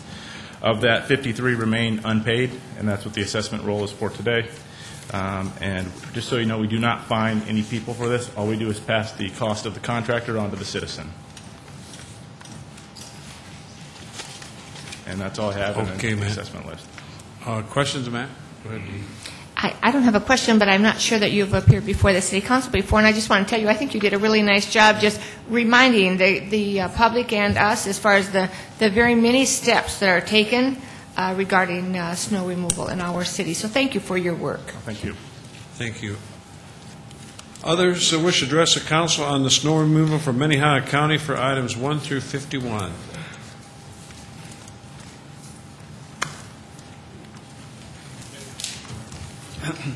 Well, my name is Mike McGreevy, and I live at 2312 South Holt. And I might say I appreciate the opportunity to uh, speak to you. Incidentally, I have absolutely no quarrel with the ordinance. I, I think it's a good idea, and I, I appreciate it. I was uh, in Georgia all last winter, and I had arranged for somebody to remove my snow, and I got six or seven or eight bills, and um, thought everything was being done. And then I was contacted by Matt, and I got a bill for snow removal for uh, $445, and I was a little taken aback. Um, Incidentally, um, um, I I called Matt, and then uh, he was kind enough the next day to get back to me. I didn't know he would, and he said uh, the contractor had, he had contacted the contractor, which I appreciated, didn't know he was going to do. And he said the contractor had made a mistake, and I thought, oh, yeah, here. Uh, But the mistake did reduce it, but it reduced it to $349. Um, The person who removed my snow uh, removed the driveway and the sidewalk, and he charged me $25. And I, I think it's fair to say that 80% of that is the driveway.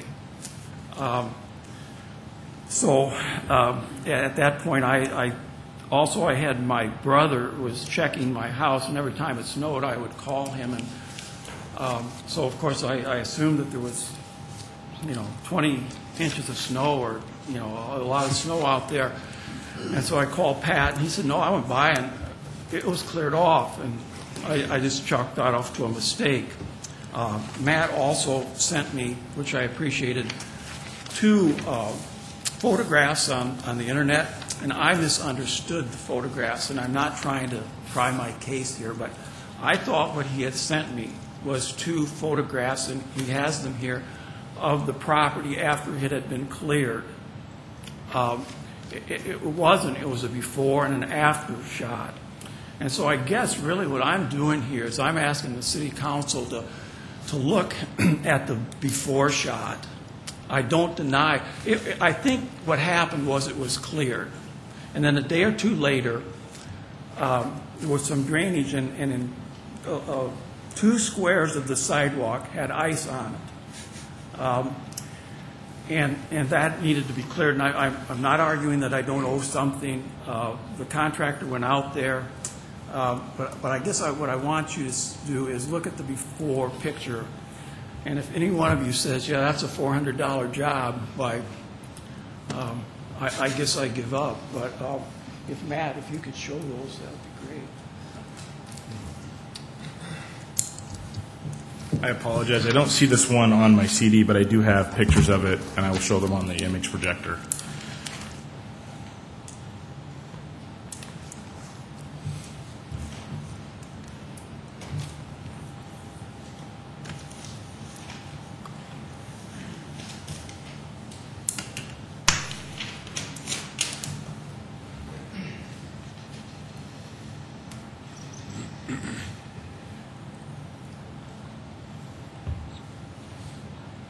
That's the after. I don't doubt that it was cleaned off. And that's the before. And the, the, the ice at the bottom, which would be the north end, um, oh, I don't know how much that would be. That would be like one of those squares, maybe a little bit more. And then the, well, I guess you could just see it yourself.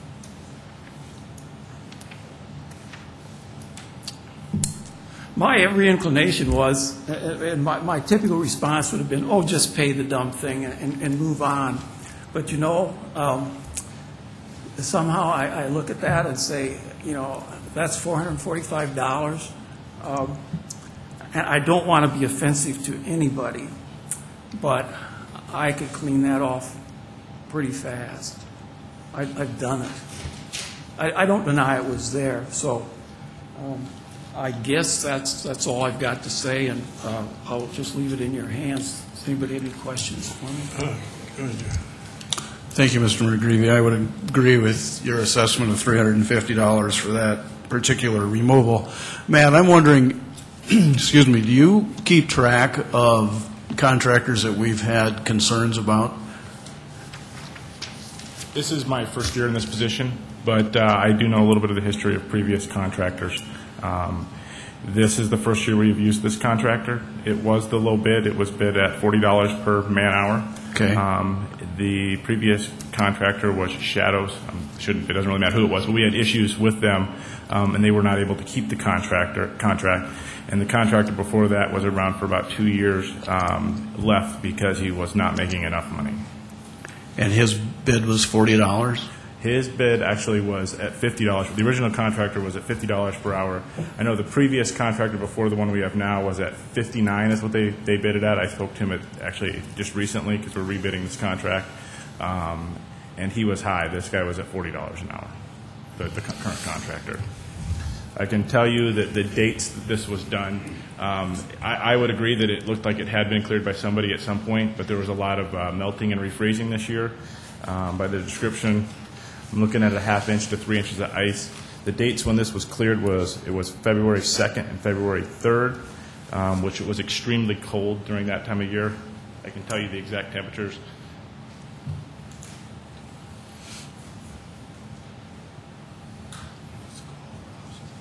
In February,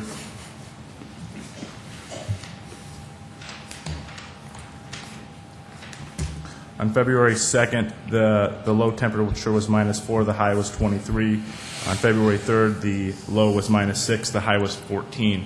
I think typically you think you run out to your driveway, and when you clear this, it's probably that day when it's 36 degrees and you don't have a jacket on because you think it's a heat wave. Well, this is one of the coldest days of the year. Um, You can hardly chip that ice off. Part of it is labor, the labor portion of it, and then the other part of it is actually the ice melt that they use. They use a high-quality ice melt. It's probably the best ice melt you can get. Um, It runs at about 20 bucks for 50 pounds of it. They said that we- they charge us 40 cents a pound for it, or charge a citizen that for it. So to simply say you can just scrape it off, that's not correct. And we expect them to have it, per the ordinance, down to the concrete, edge to edge. So my child doesn't slip out on the way to school. We have people that are, you know, limited in their ability to walk, can walk sidewalks. I get numerous calls from people that are disabled, have difficulty walking, people that have slipped. Um, We actually had a case against the city that was brought up, went through our risk management department about an individual that slipped, and the first thing he did was come to the city and said, have you had a complaint on it? Why isn't this cleared for ordinance? I fell on it. What are you going to do about it? I agree with you, Matt, but I got to tell you, my experience, and I've been in my position more than a year, is that we have a parking lot that's almost five-plus acres. We have probably 600 feet of sidewalk, and our average snow removal cost is just under 500 bucks. So to charge somebody 350 for this seems a little bit ridiculous to me. And I'm going to make a motion that we uh, amend item number 35, 34, I'm sorry, to uh, $40. Second Anderson. Wait, We got to get a, mo- we got to get a motion to approve items 1 through 51. Can we do that? So move Knutson. Newsom moves, is there a second? Second, Brown. Brown seconds. Now, now, now, your motion, uh, Gerald, is to take and to to... I would like to amend item number 34 from $349.80 to, I believe the first charge, was that correct, Matt, was $40 per hour? They charge us forty dollars per labor hour plus the additional cost of salt on there. Okay, we'll make it an even 50. Okay, your motion is to... Amend it to $50. To assessment of fifty dollars. Beninga makes a motion. Is there a second? Second, Anderson. Anderson, second. Further comments on, on the motion to drop the assessment from three forty-nine eighty to fifty dollars? Is there any, got a motion been made and seconded to, for that motion? Further discussion? If there is none, all in favor of that motion to delete, to drop three forty-nine to eighty to fifty dollars, vote yes. Those opposed, no. Councilmembers Knutson? Yes. Litz? Yes. Staggers? Yes. Anderson? Yes. Beninga? Yes. Brown? Yes. Costello? Yes. Jamison? Yes. That motion prevails. Um, Others that wish to address the council on items 1 through 51 for the snow removal from Minnehaha County. Mayor, council, my name is Ernie Vay. I live at uh, 5001 East 15th Street, and my problem is extremely similar to the gentleman that just left. We were on vacation, Christmas vacation. I didn't have anyone to clear my sidewalks, which is my fault. However, when I got home, there was a notice on my door that they had to be cleaned off. Well, Just, They- just, we're trying to find, did anybody find it? 48, I think. 48. 48, okay, okay, go ahead then. uh, the, the sidewalk had been trampled on so much that it was virtually all ice. Well, I went out and I did my best to get it off. I first used a snow blower, then I tried a shovel, and I even tried some snow melt. Well, apparently I didn't do it well enough because they came back. Uh, it says, uh, follow up January 6th, notified to clear January 6th, cleared snow and ice January 6th. Folks, all they did was scatter some blue ice melt. Now, I heard that it was expensive, but to scatter some blue ice melt is all the contractor did, and now I have a bill for $349.80. Like I say, it's extremely similar to the gentleman that was just before me. Que- Questions of Ernest? No, Thank you very much.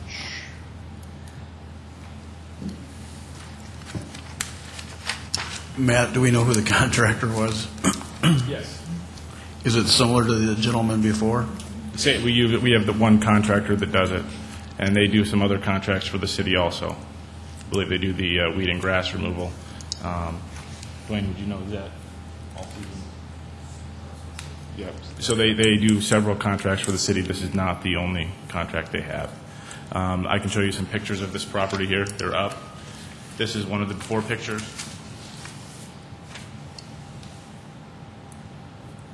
That picture was before I saw. That would be a before picture also. And you can notice that the crosswalks would not be clear there. It's two lengths of sidewalk. Um, This would be after there was a trace of snow overnight. We came out and took the pictures the following morning.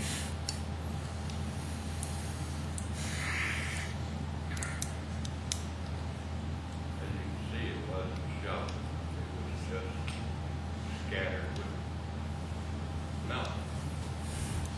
I, would just say the thing to consider there, that there is a significant amount of ice that's on there, and he spoke to it himself, where it was difficult to remove with a snow blower or a shovel. And I'll tell you with this bill, the contractor was there with three individuals for 1.75 hours, uh, $40 an hour. That was $210 in labor, labor. Um, and then the salting, it was six bags of salt, and uh, or it's ice melt. I shouldn't say salt, and that was $120. I can show you the ice melt, the cost on the ice melt. I have a printout from Grainger where that would be an accurate cost if you went to buy it. Sir, that's not true. There were not three people. Just a minute, pl- please. Go ahead, Cage, you have a question? Yeah, uh, I I didn't quite get the name of the contractor. It's all seasons. All seasons. Property maintenance. Kenny? And, excuse me, I, I'm sorry, I forgot your name. Matt. yeah. Matt, okay. Matt, you also said, I think at the beginning of this, that with your program, you have options for people with disabilities, or, is that correct? We don't offer it, but there is a program, um, it's offered through, it is called the Scoop It program, um, and it allows for people that qualify on income basis or it's income and basically disability if they cannot do it themselves, so they'll uh, go out and scoop it for you. Okay. And obviously, with this before picture, it looks like somebody's gone by with a snow blower and just cleared it out for, like a neighbor or something, might have come by. Ern- Yeah. Ernest, did you have something else you wanted to ask? If you- If you would, come just forward and- and speak into the mic, we'd appreciate it, please. Thank you. You had something earlier I think you were going to say. Well, I get embarrassed in front of No, all you of don't be embarrassed, don't be embarrassed, don't be embarrassed. Did you, did you, you were going to say something with, Uh, No, I, well, what I said was there were not three people on the crew. There was one person, and he scattered salt, or whatever it was, he it was blue. okay. And uh, that melted it very well. And as you can see, the after pictures, there's still, it shows that it was not shoveled in any way. Because if it was, it would have been completely clean, and it's not. And tha- that's what I was saying. Okay, thank you very much. Questions? Uh, You know, question, uh, Mr. Bay, is it, you know, I always think this is kind of a difficult um, business trying to make these kinds of fair decisions up here because, again, I, you know, we do have this ordinance on the books, which I, you know, have supported and so forth, and so, uh, you know, people like me do expect the city staff to enforce the ordinances. And, you know, fortunately, no one, um, you know, fell because if they had broken a leg or something, the, the uh, medical bill would be way more than $349. So it's what I'm telling you is I'm struggling uh, a little bit with this story, even though I'm extremely supportive of our overall policy. And, and I know that we also build in a little bit of a punitive, you know, feature to the, to the uh, bill because we're trying, you know, we don't want to be in the snow removal business for uh, all of our citizens in Sioux Falls. So I'm just curious, if our, if our positions were we, we were reversed right now, I mean, what do you think, I mean, you know, there's the ordinance on the books, and we've had a full discussion tonight. I mean, what do you think would be uh, the fair, fair to you and fair to me as a city councilor that needs to, uh, you know, vote correctly? Well, I agree with the ordinance 100%. And I'm not trying to get out of anything other than money. I think I was charged too much. That's simply it. I do agree with the ordinance, and I have complied with the ordinance. I've lived in Sioux Falls many, many years, and uh, I've never had a problem before. If you want to get back to the tree problem, I had a problem with those folks as well. So what amount would you, do you think in, in this case is fair? Because I understand what you're saying. Okay. It didn't take the gentleman an hour to do it, but I'll pay him an hour's wage, whatever that amounts to, and whatever the concoction he used to put on there. I'd be more than happy to pay that as well. Thank you. Thank you. Gerald? Well, I will uh, make a motion for whatever an hour's labor is, uh, probably close to $70. Is it 40? 40. Okay, I think, I think it was Thanks, I figured you'd know, Kermit. And $120 for the ice melt, so we're looking at $160. I'll second that motion, Knutson. Yours is 160? Okay, the motion been made to reduce the 349.80 to 160. The motion been made and seconded. Further comments? Go ahead. Well, I guess one concern I have is the contractor did not comply with city code. He didn't clear it, totally, according to city code.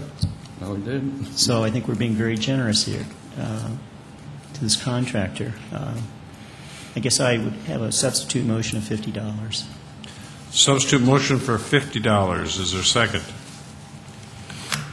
That dies for lack of second, so we're back to the motion for 160.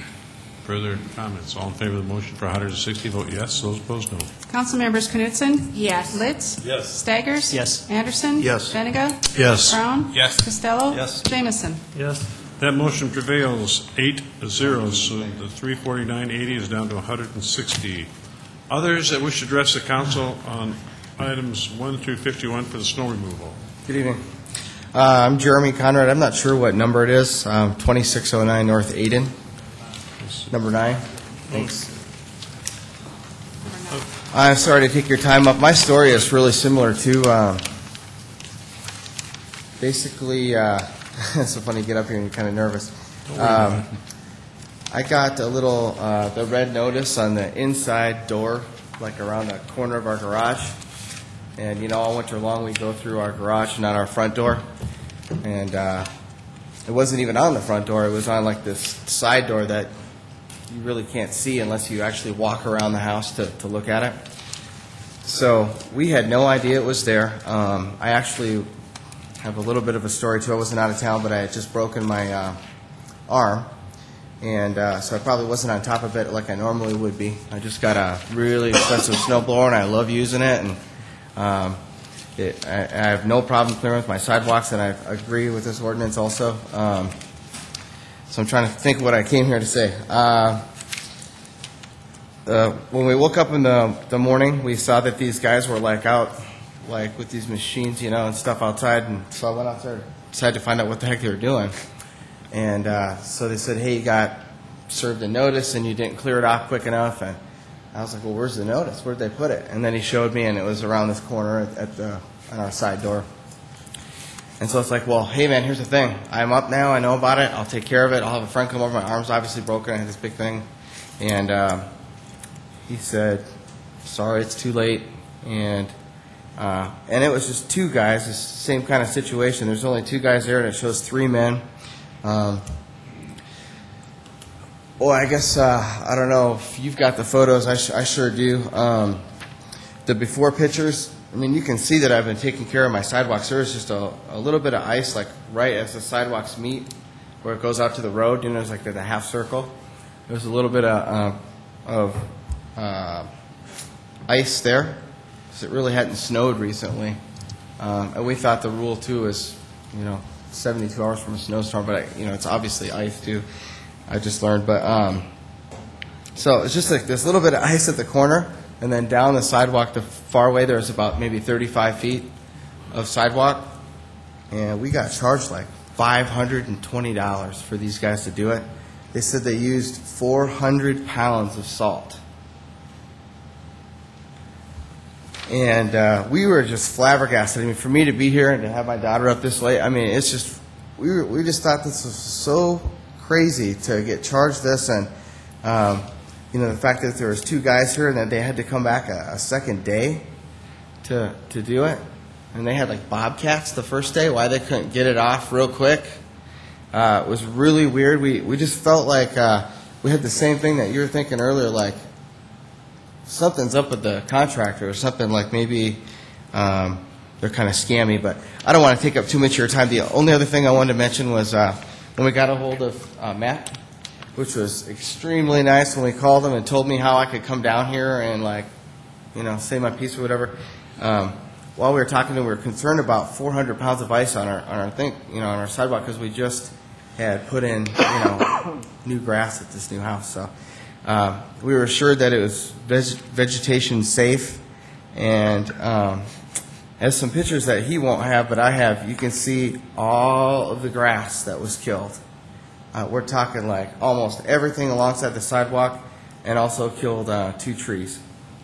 So it cost us hundreds of dollars to replace all that, and with the trees and all the grass and all the work to get rid of like the soil-filled, um, you know, area. So I just, uh, again, have no problem paying for, for them since it was too late and they had to continue their work since they came. But um, I just think it was way too much and way too long. They built, they said it took um, over eight hours to do it and 400 pounds of salt. So it seems kind of crazy. Questions? I mean, look, there's the picture. And then there's the side by the fence area.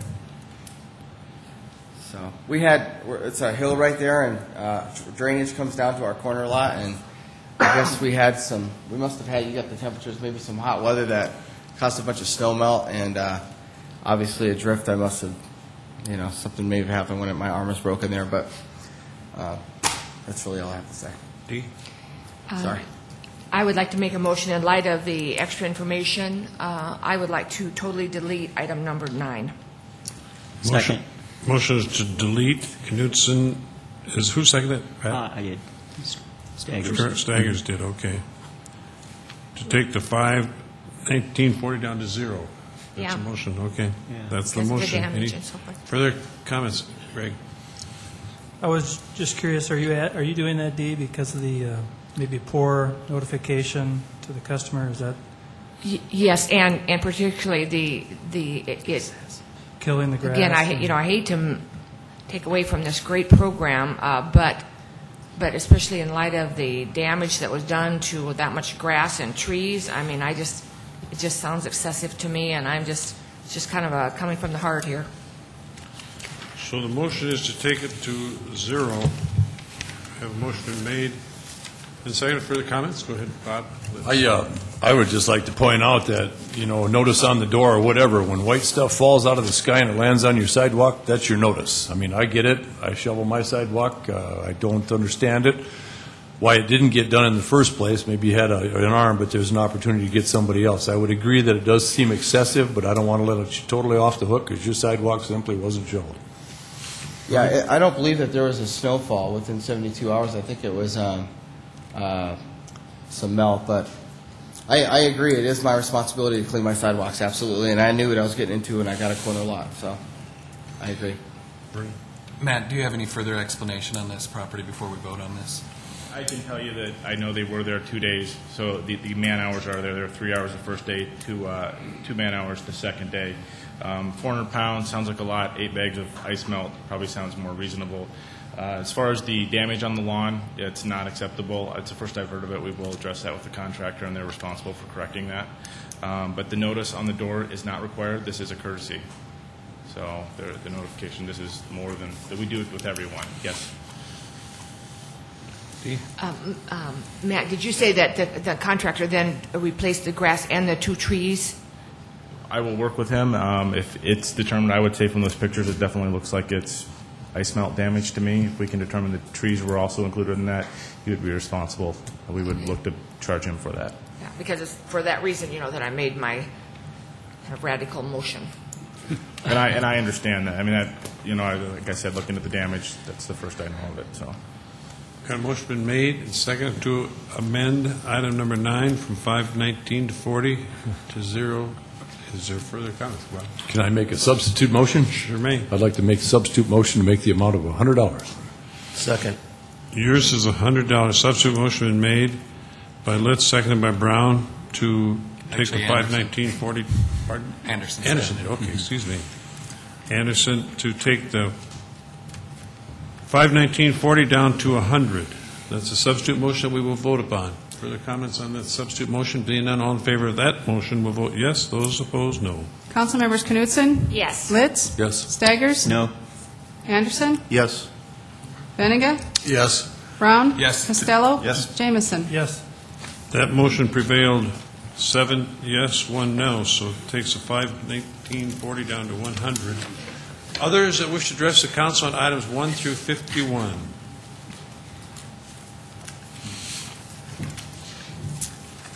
I, I have a bad cold. My name is Doug Holden, and I live at 25815 North Kiwanis. The property in question is a rental property at 2101 South Grange Avenue. I uh, was told that they were that, uh, they put a notice on the front door of that property. Uh, the problem is that nobody uses the front door at that property. It's item number 25. Excuse me, Mr. Holden. Item 25.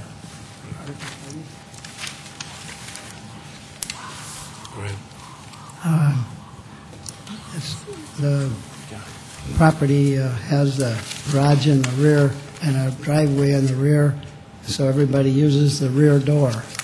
And the mailbox is at the rear door. So nobody seeing the notice that was obviously put on the front door. Uh, I, this is a property that is registered with the city, and I would like to uh, suggest that uh, they cross-reference these properties if they're with the uh, owners of registered properties so that they could be called and told that their renters are not cleaning the property. Uh, If I had been notified that the sidewalk was not cleaned properly, I would have been over there doing it myself. Uh, I have the pictures of it, and obviously there was ice on the sidewalk. Uh, I'm not saying that it wasn't.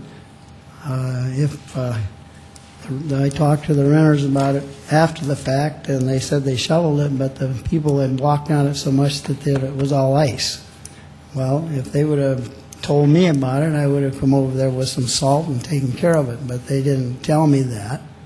And I think the contractor was a little excessive with uh, 400 pounds of salt. That's about uh, three pounds of salt per every foot. And uh, he also charged me uh, $240 labor. I have cleaned that sidewalk myself, and I have used about 50 pounds of salt with about the similar conditions of what I see in the pictures, and it took me about two hours to do it. And uh, so I, uh, I worked for the city for 39 years. I wish I was making the kind of money this guy's making.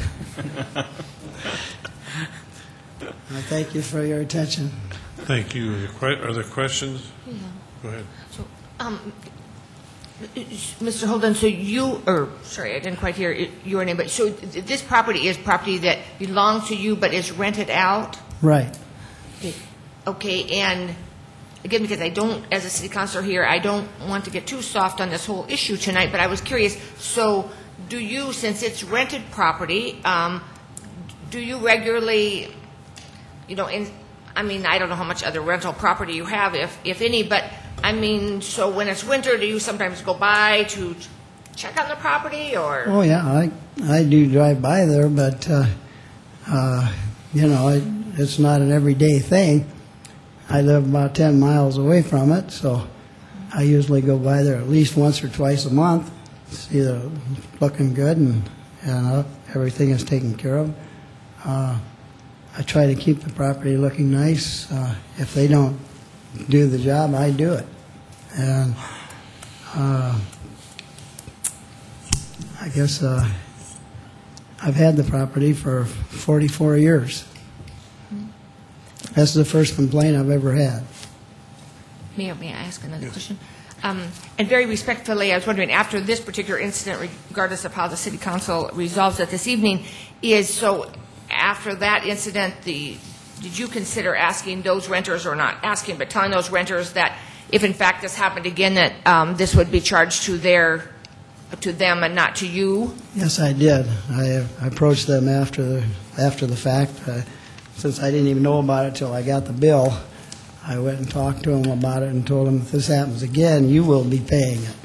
But uh, I guess uh, I agree that the sidewalk should be cleaned, and if I would just be notified, I would make sure that it's done. I think that the bill of $424 is a little excessive uh, for something I probably could have done myself in about two hours. Yeah, I see. And I was wondering, I I assume from a practical standpoint, it's very difficult for the city of Sioux Falls staff to, you know, to look up the actual owner of each property that they go to on snow removal or trees or trimming or whatever, so I assume that that uh, would get to be an rather time-consuming project, but I Well, I was was told, uh, I was told that uh, they do call some people. I just wasn't called myself, but I I understand they do call some, and I uh, I don't know why I wasn't called, but I would appreciate it if uh, maybe the the system could be to try to contact the owners by phone. Uh, Most people, uh, if they, I mean, I- I'm sure there's other people that don't use their front door. Uh, I used to live in town myself, and I never used the front door. So if they'd have brought it to my front door, I wouldn't have known it either. If your garage is in the back, you go out the back door. And that's what the situation is there. So in your opinion, if we were, re- our positions were reversed tonight, what do you think would be fair to everyone involved, since ordinance is on the books? Well, uh, I guess uh, I wouldn't hire this contractor again. But, I mean, you know, I, I would say that uh, maybe a hundred dollars would be uh, okay, but I, I think four hundred and twenty-four is a little excessive. Thank you. Matt, can we see these pictures? Yes. We're having trouble uh, on our monitors.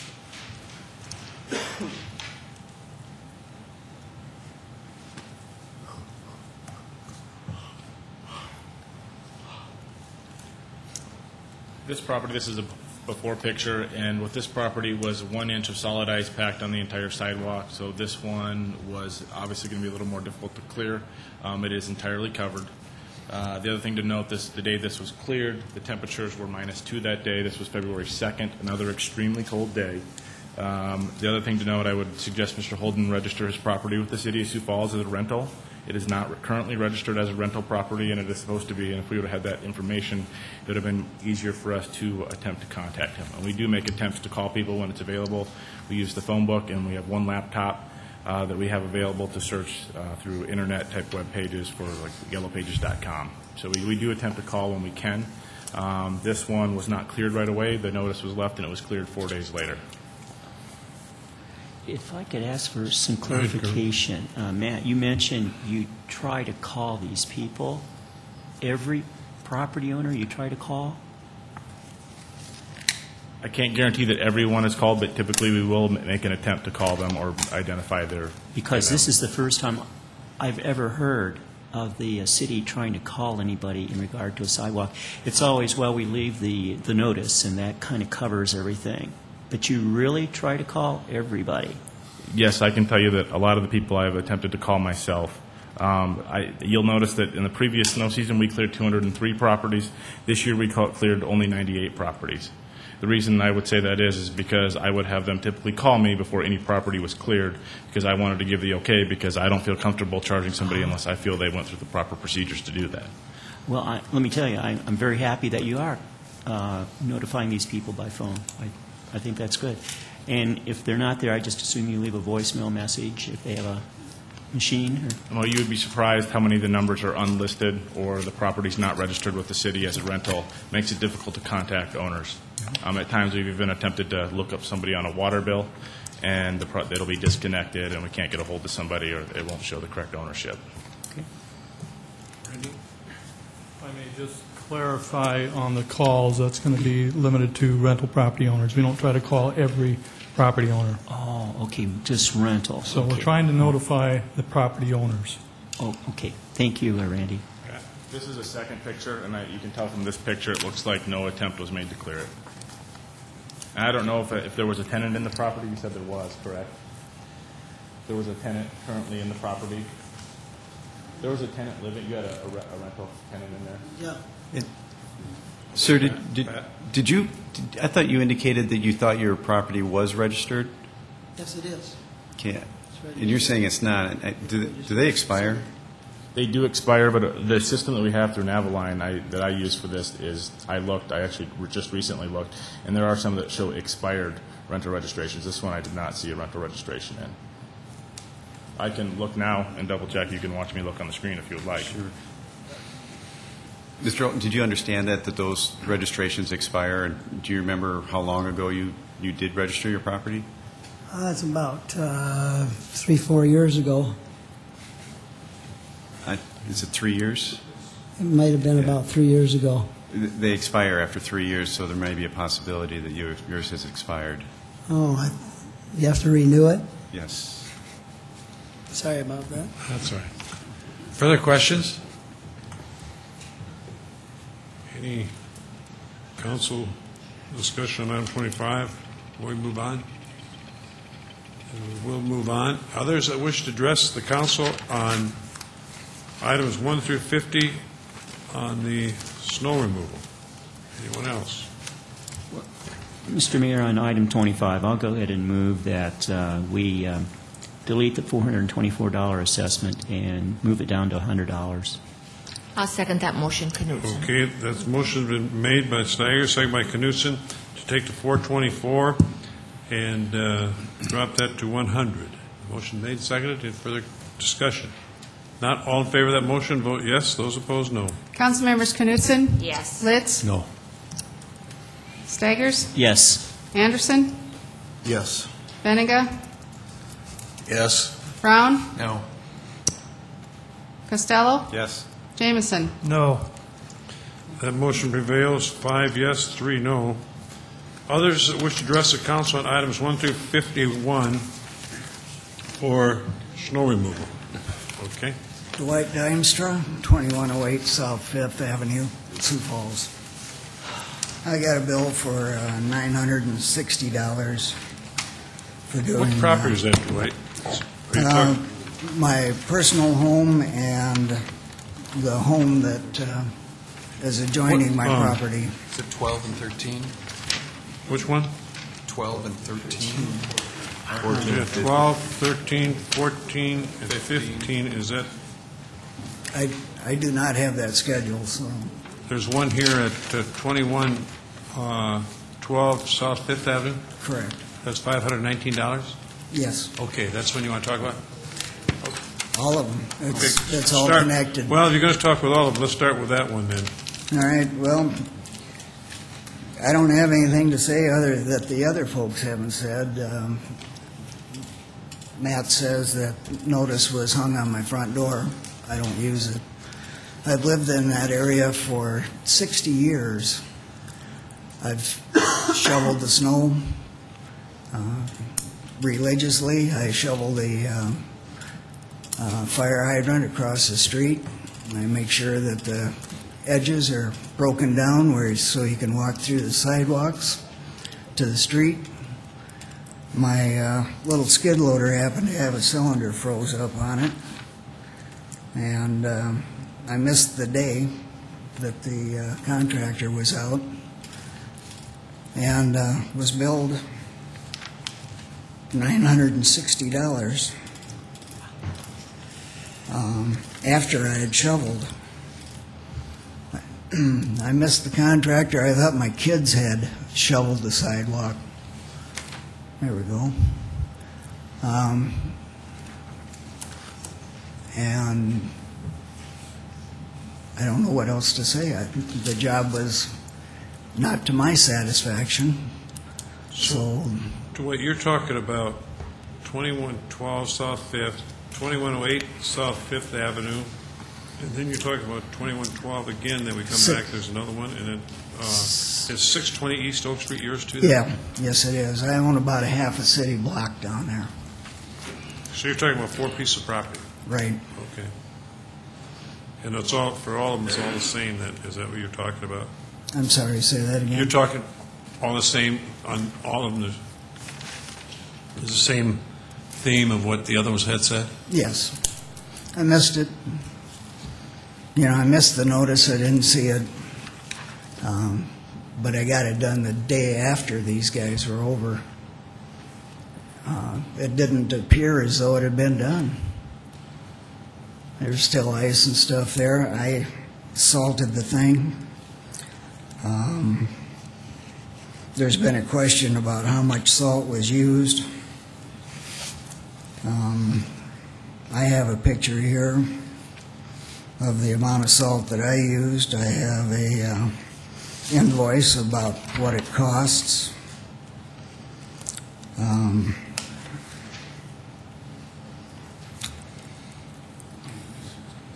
I feel that $960 is out of line That's for all four, right? for all four.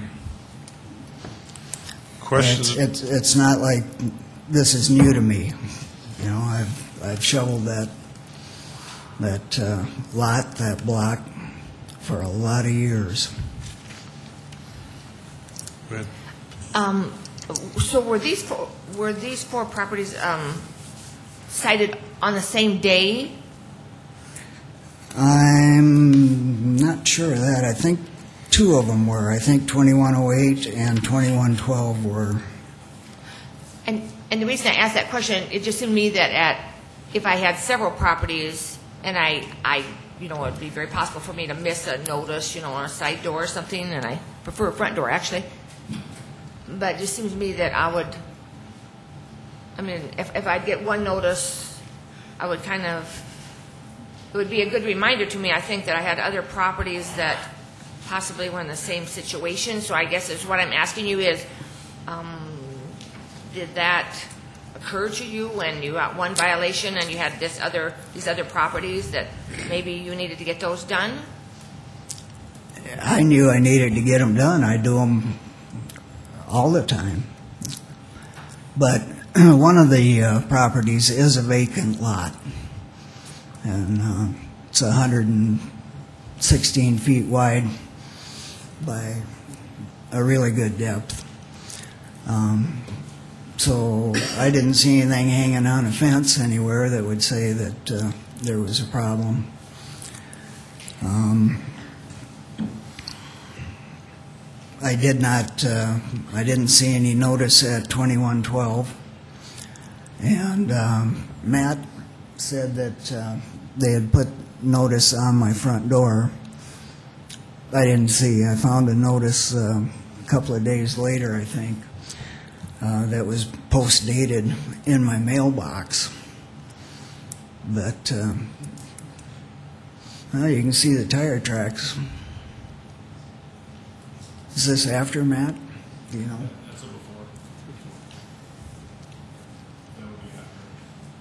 Yeah, that's what it looked like after I did it. And I salted it. I plowed it, I salted it. They may have beat me by a day, but uh, I did it. Further questions, Dwight? Uh, Thank you, Dwight.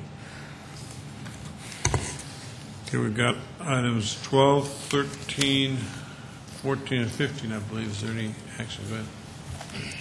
Can I ask uh, Matt a question? Sure. Matt, there's uh, four, four items here. There's a couple for $63. What were those?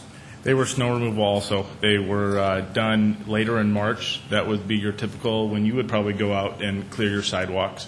Um, And they shoveled quick, they were cleared quickly, there was not really any ice to move, remove, so it was, you know, you can see a $63 bill I don't think is out of line at all, and, you know, when, I know the other ones are high, but there is a reason for that. They put the man hours in there. That goes for all of them. So if it's just a uh, light, light snow and they don't remove it, a household could expect to spend 50 to $60 just to have it simply shoveled. I would agree with that.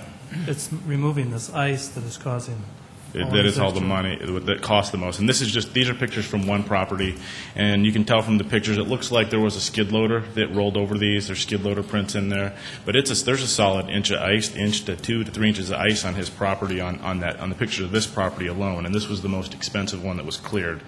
Um, And the other one, I believe, is close to it, so that's what the high cost is. And Matt, would you think the ice is really caused by, looks like he used a skid steer or something to try to move it, then he spread the salt on it, but really didn't use enough salt, and then it melted and then it froze again? Is that probably what happened? That's probably part of it, plus with, there was a lot of it, there were some warmer days where it warmed up last winter, and then it melted stuff, and it all refroze. I'm guessing it, a lot of it was packed down, it melted, it froze, and it created a solid sheet of ice. The other thing that I will add is there are four properties that we cleared. We received more complaints than that on uh, Mr. Dimstra, is that right, Dwight? Okay. His properties, um, actually, I, I I talked to him several times myself. Uh, I had his cell phone number uh, that was given to me. On one of his properties, we attempted to call him, but he had several numbers that had been disconnected. Um, He called in, where I got, he called in initially when he received the first bills. Um, So, you know, so it's not like he didn't know, it's not like he wasn't notified. He's had, I think, rentals for quite a while. Um, You know, and obviously, this isn't a first. And they, just one last question. The notification you put on the door is really just a courtesy? It is a courtesy. Matt, just- uh, just for clarification, um, are we talking about a couple different snowfalls here from 12, 13, and then 14, 15? The first two properties are from an earlier snowfall. We can go through them one at a time, or um, the 2112 South Fifth, that was on 1226. um, We actually cleared that on 1/5. The complaint came in on uh, 1226. We did the first inspection on 1230. The 2108 South Fifth, those, that was the same snowfall, same complaint date. It was cleared on the, on the January 5th also. The, the later ones, um, we received the complaints on 3/2, and we cleared them immediately because he'd already received notices. And I actually had talked to him, I've got a, a different property that there was a complaint on, and I talked to him on the cell phone to himself, to him specifically. I said, Dwight, we're not going to make the extra efforts. I'm not going to make any calls to you. You need to understand these need to be cleared, and that's what we expect. Next time, we're just going to go out and clear it. And that's what happened after the last snowfall, and that was in March. Thanks. Go ahead. Yeah, Matt, uh, Matt, could, could, could we see the before and after pictures of the 6360? Which one, sir? $63.60. Absolutely. um, See what the snow looks like.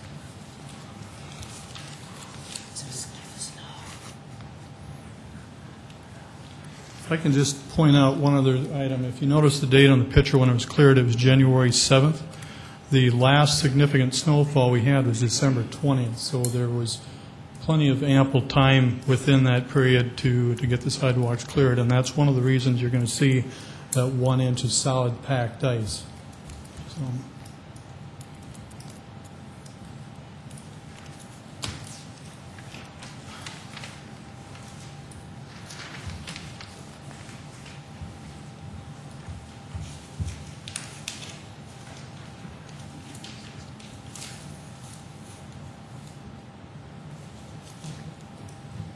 That would be a before. I apologize, I don't have them on the, on the list there. I thought they were all on there. This would be an after. So there's definitely snow there. So that's for $63.60 on that one. And that's a contractor coming out, professional contractor that we, that Terry White we require. And then can you show us the other 6360?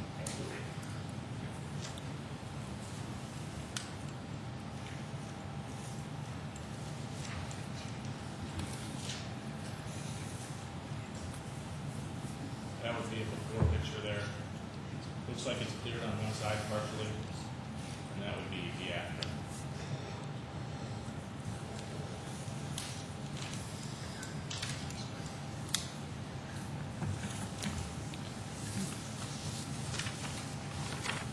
Further questions of 12, 13, 14, and 15? Thank you, Dwight. Any action, they want to do 12, 13, 14, and 15? Not? See no one, let's move on. And is is there others that wish to address the council on any items from 1 to 51 on the snow removal? See no one coming forward. So we've got, we have some motions to amend. I think there are items, was it items 9, 25, and 34 and 48, I believe those were the four. Those were four, right? Okay, we got a motion to approve, and then we had made adjustments on items 9, 25, 34, and 48. But in- So all in favor of the motion to approve as we have, go ahead. Yeah, I was, I was going to speak here. Um, I guess I have a lot of sympathy for the 6360 uh, charges, but still, it's, it's still hard to believe that some of these other charges where there was a lot of ice is, is just seems so excessive. And, and the problem is, we have a lot of these on here. Uh, we don't have just a few that we heard tonight. So, so my concern is, is that you know, we have other people who, uh, for whatever reason might be, aren't here tonight, uh, being charged excessively here. Uh, and so I think what we, and this is not the first year that we've had these problems with assessments and with contractors and costs and things like that. I, I don't know what the city can do here about in the future uh, with, with contractors that, you know, maybe sometimes they're you know, maybe charging too much. Um, If I could just ask a quick question to Matt. Matt, do we know how much money this contractor made for the winter season on everything? Not just these, but the entire snow removal for all properties?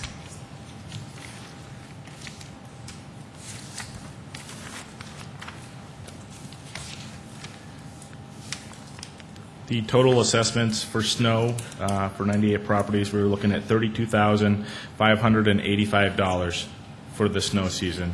Now, in 2008, 2007, the contractor, which was a different contractor, was paid $38,815. But the problem is, we don't have all those other, um, let's see. Uh, Okay, I guess, yeah, I guess that answers my question. Okay, we've got a motion to approve the snow removal and uh, to make the assessment, to adjust the assessments on 9, 25, 34, and 48. All in favor of that motion? Oh, if, Submitted? I'm Go ahead. sorry to interrupt. I, I guess um, that's how much this contractor got for these assessments. Then we also had other properties that he went to, or they went to, to take care of. It- it- I'm sorry, I'm not understanding, Dave. Yeah. Um, I'm just trying to figure out if, if there was any other um, money that was made off of this snow removal by this contractor. Not from, not from the city that I know of. We, we Okay. actually had them do some work for us. When we were shorthanded, they came down and cleared some of the sidewalks downtown. But other than Okay. that, we have not paid them any more money out of the uh, Okay, so- parking department or okay. the city budget. So we've got the motion Thank you. made, second. Uh, Mr. Mayor, I'd just like to make one comment. Um, In the seven-plus years I've been around Matt, this is the most descriptive and the most um, uh, concise piece of information that we've gotten, and I appreciate your work and your diligence in trying to make this happen. I guess it was, it was pointed out to me that uh, the total assessment at the very end says $16,406. Okay, we've got a, That, uh, you probably are looking at the very end of, those are all the unpaid ones. This is, this would be for all, because approximately half of them have been paid by the citizens. Okay. I, I have a separate sheet. I don't know if you have the Hmm. sheet. You should have it. No, I don't think I I think do. it's probably someplace else. It's basically a summary of. got a uh, motion been made and seconded to approve items 1 through 51 with the adjustments on 9, 25, 34. All in favor of the motion to approve, vote yes. Those opposed, no. Councilmembers Knutson? Yes. Litz? Yes. Staggers? No. Anderson? Yes. Beninga? Yes. Brown? Yes. Costello? Yes. Jamison? Yes.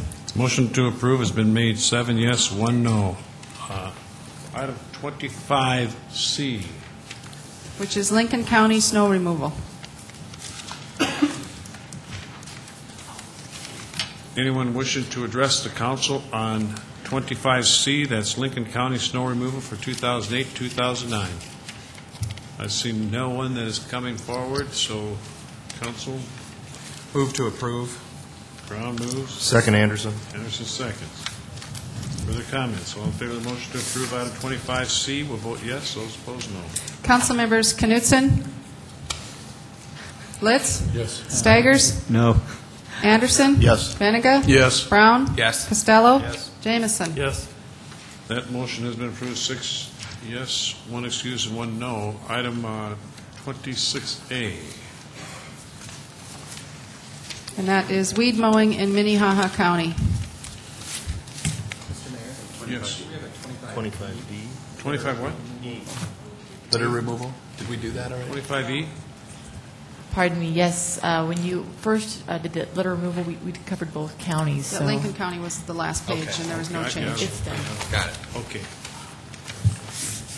Don Kearney was just here to answer questions again, if there are any.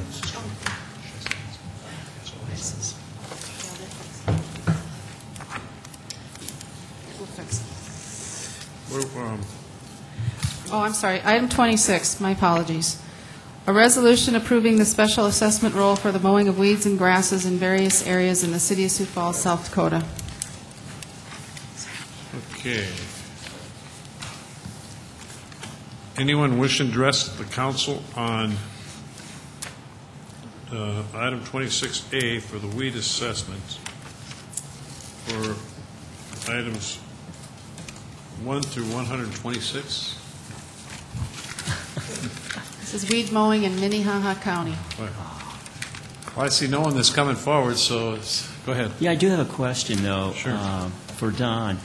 Uh, the- Looks like the first four assessments for weed mowing is from the, um, directed at the Administrator of Admi- uh, Veterans Affairs, Fort Snellings, St. Paul, Minnesota. In reality, are we going to be able to collect from the federal government on this?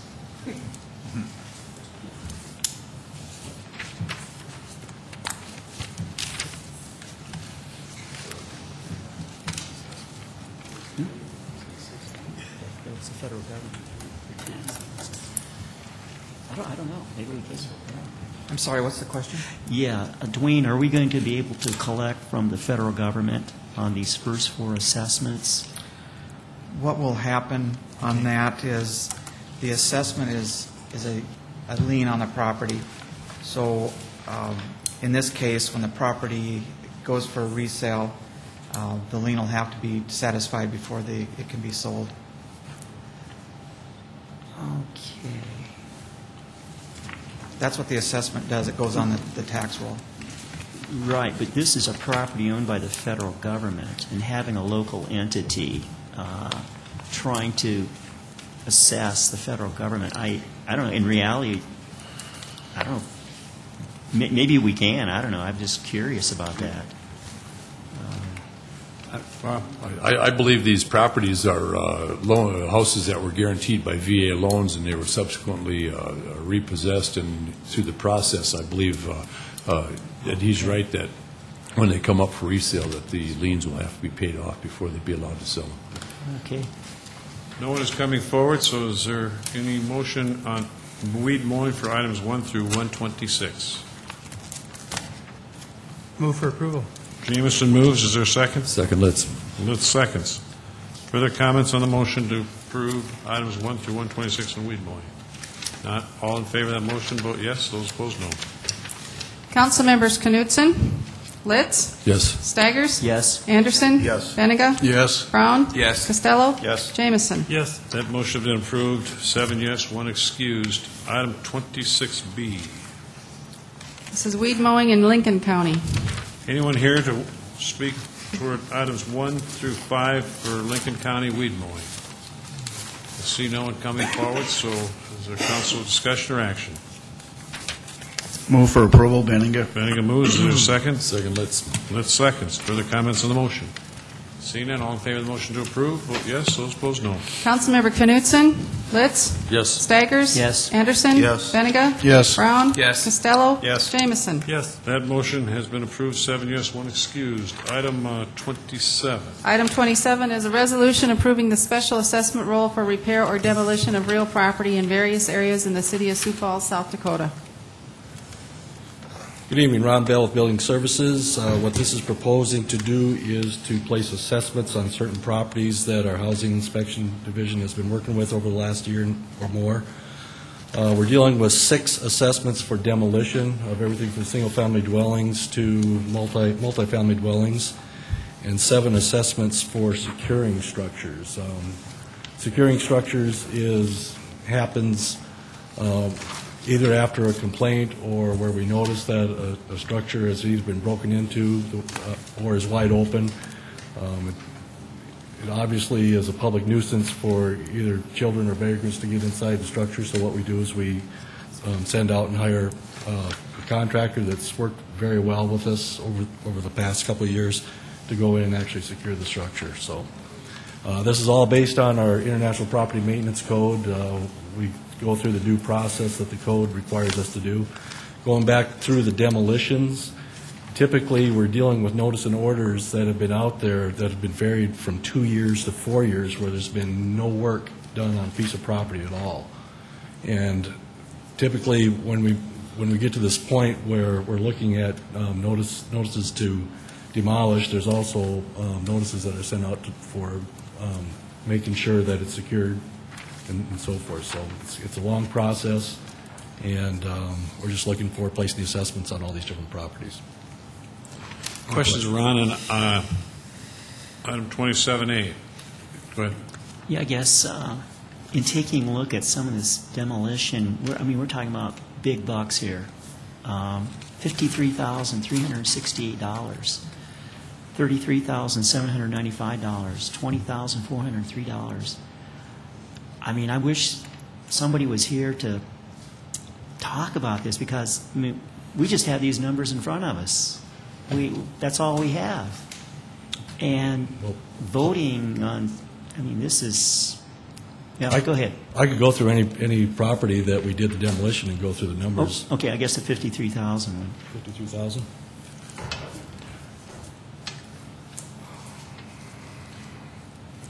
That was the 219 South Colville? Uh, yes.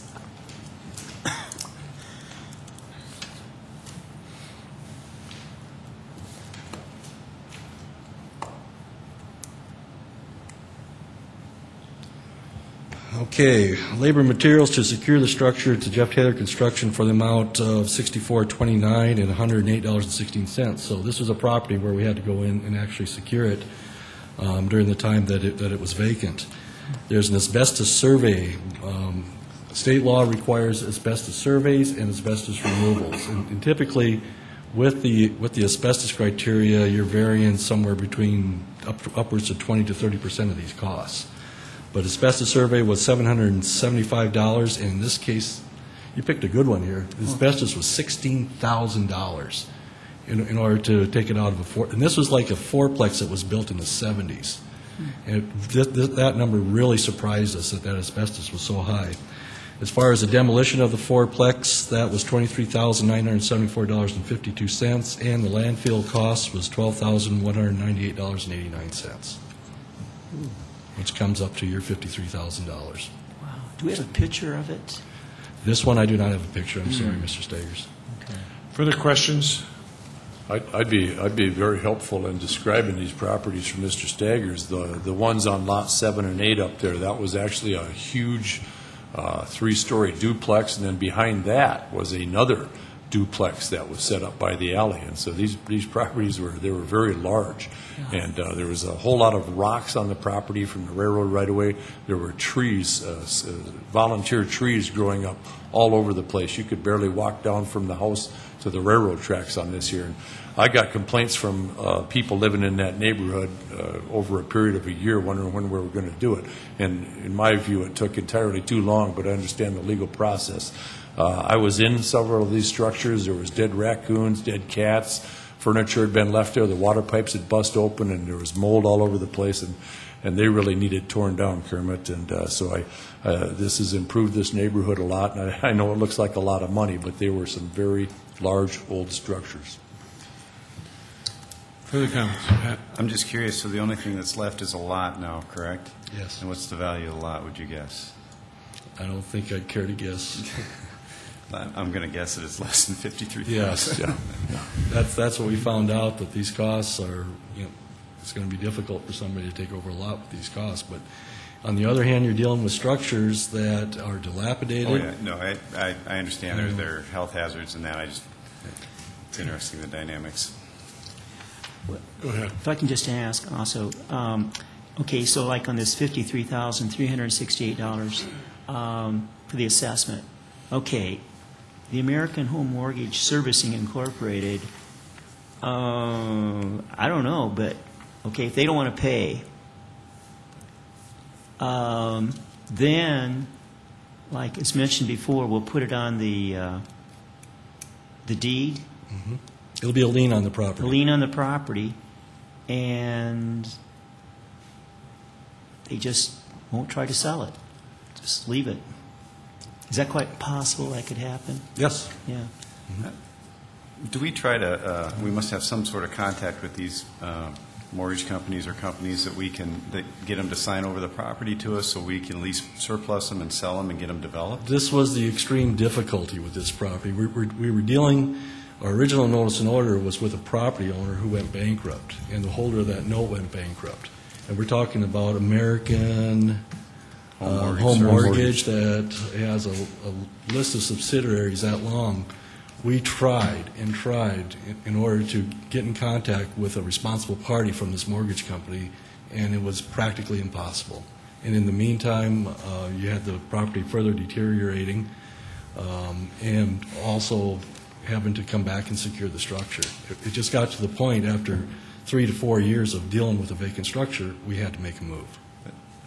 I imagine that we're going to end up cutting the grass there, cutting the weeds, and then, a question for the city attorney, is there, is there a way to, uh, to take, the- take over this property when, Well, I'd, I'd have to say that the title is still in the name of someone other than the mortgage company, or have they foreclosed? They it?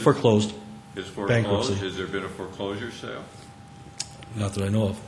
See, there's usually a foreclosure sale that you could go bid at. Now, the mortgage company, if it has any value, they have to bid the reasonable value, market value. They can't bid in low. But if you are there and you have a lien, you also have a right to bid on it. But, you know, if it's, if there's a ninety thousand dollar mortgage debt on it, a fifty-three thousand dollar lien, you have to look at priority.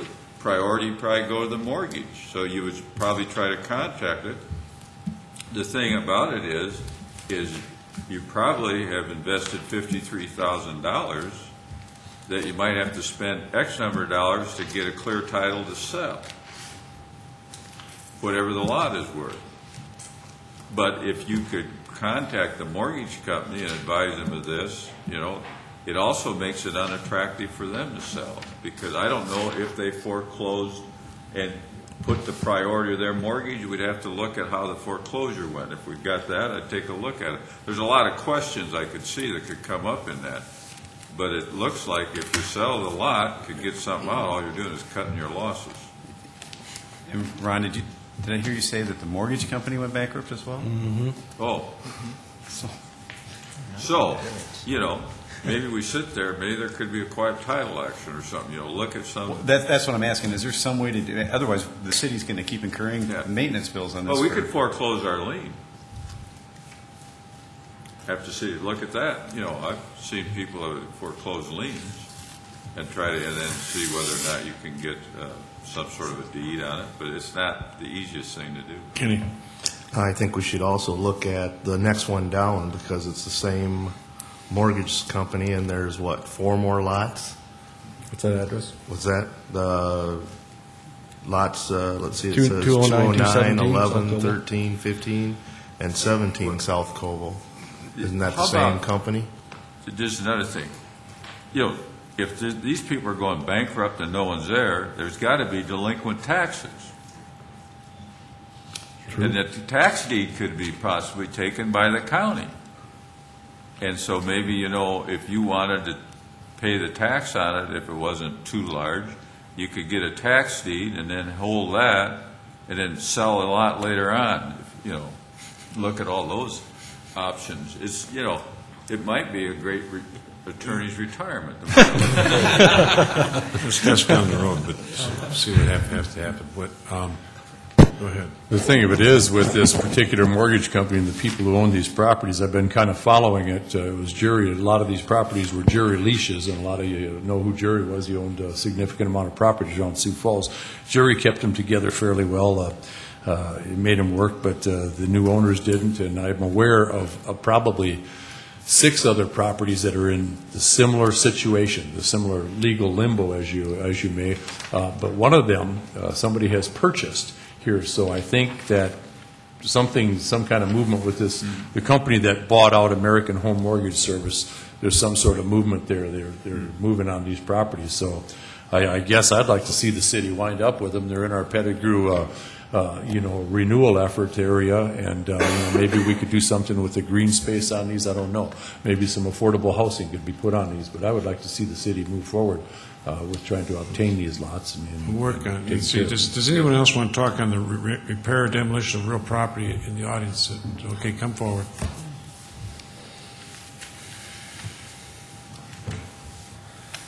Hello, my name is uh, Greg Haas. I purchased uh, 314 and a half. It was a property that had two houses on it. The main house up by the street was a three-bedroom, one-bath unit. Um, The back house in question right now was a one-bedroom, one-bath. And when I went to, I was looking to purchase it, it was uh, foreclosed on by a bank in, uh, I believe it was Colorado. The back house had actually been condemned by the city. It uh, had a clasp on the front door because the front door would not latch. Uh, I want to say two or, at least two, possibly three of the windows were broken. They had plywood on them. Um, I decided to purchase the property. I've had the property for about a year and a half now. I originally fixed it up. Um, It wasn't the worst house on the street, but it was pretty close. I, I pretty much stripped it completely down, um, gutted the kitchen, gutted both the, uh, gutted the bathroom down to the floor joists. Yeah, you can see it there. The, the picture in the back there, that, that addition that has a flat roof on it that you see the window on, the roof was actually collapsing because it was such a bad slope on it. Um, What I did is I tore that addition off, and I turned that back house, which was condemned, I turned it into a garage. That front porch on the front house there, on the, that you see, was, the screens were all ripped out. I pulled that out, opened that up. Every window in the, that front house, I uh, replaced. I pulled off all the siding, replaced all the siding, put all new shingles on it, replaced the whole kitchen, replaced the full bathroom, moved the laundry room upstairs, added a bathroom in the story and a half because it's a story and a half unit. It's not the best house on the street right now, but it's pretty close. Um, And I now have a, a uh, expense for the, re- for the repair of that back building, which, from my understanding, has squatters and whatnot in it because of the broken windows and the fact that the front door would not latch. But all of that, all of this bill for ninety-five dollars was done before I even went to look at the house, let alone purchase it. So I'm, I have, I've listened to people with their snow removal. I've lived in Sioux Falls my whole life. Luckily, I have not had to sit through any of this or be involved in any of this before. Um, So it's been a learning experience, but I'm here to say that it was done by some uh, Tyler Construction, um, but the work was obviously done. For me to be able to even renovate that house, I had to go through the city and get a, my contractor's license. Um, I had to take the test. I had to get the percentile, I had to get a, um, I had to be licensed and bonded to do all the work. Uh, Had I known that something as simple as putting some car, some uh, plywood and whatnot on the windows, I would have done it myself. Um, That's why I'm here tonight. Um, it was- All the work was done before I even looked at the house, let alone purchased it. Questions? Thank you. Others that wish to address the council on repair and demolition of real property for 27A? Not, council, Move for approval.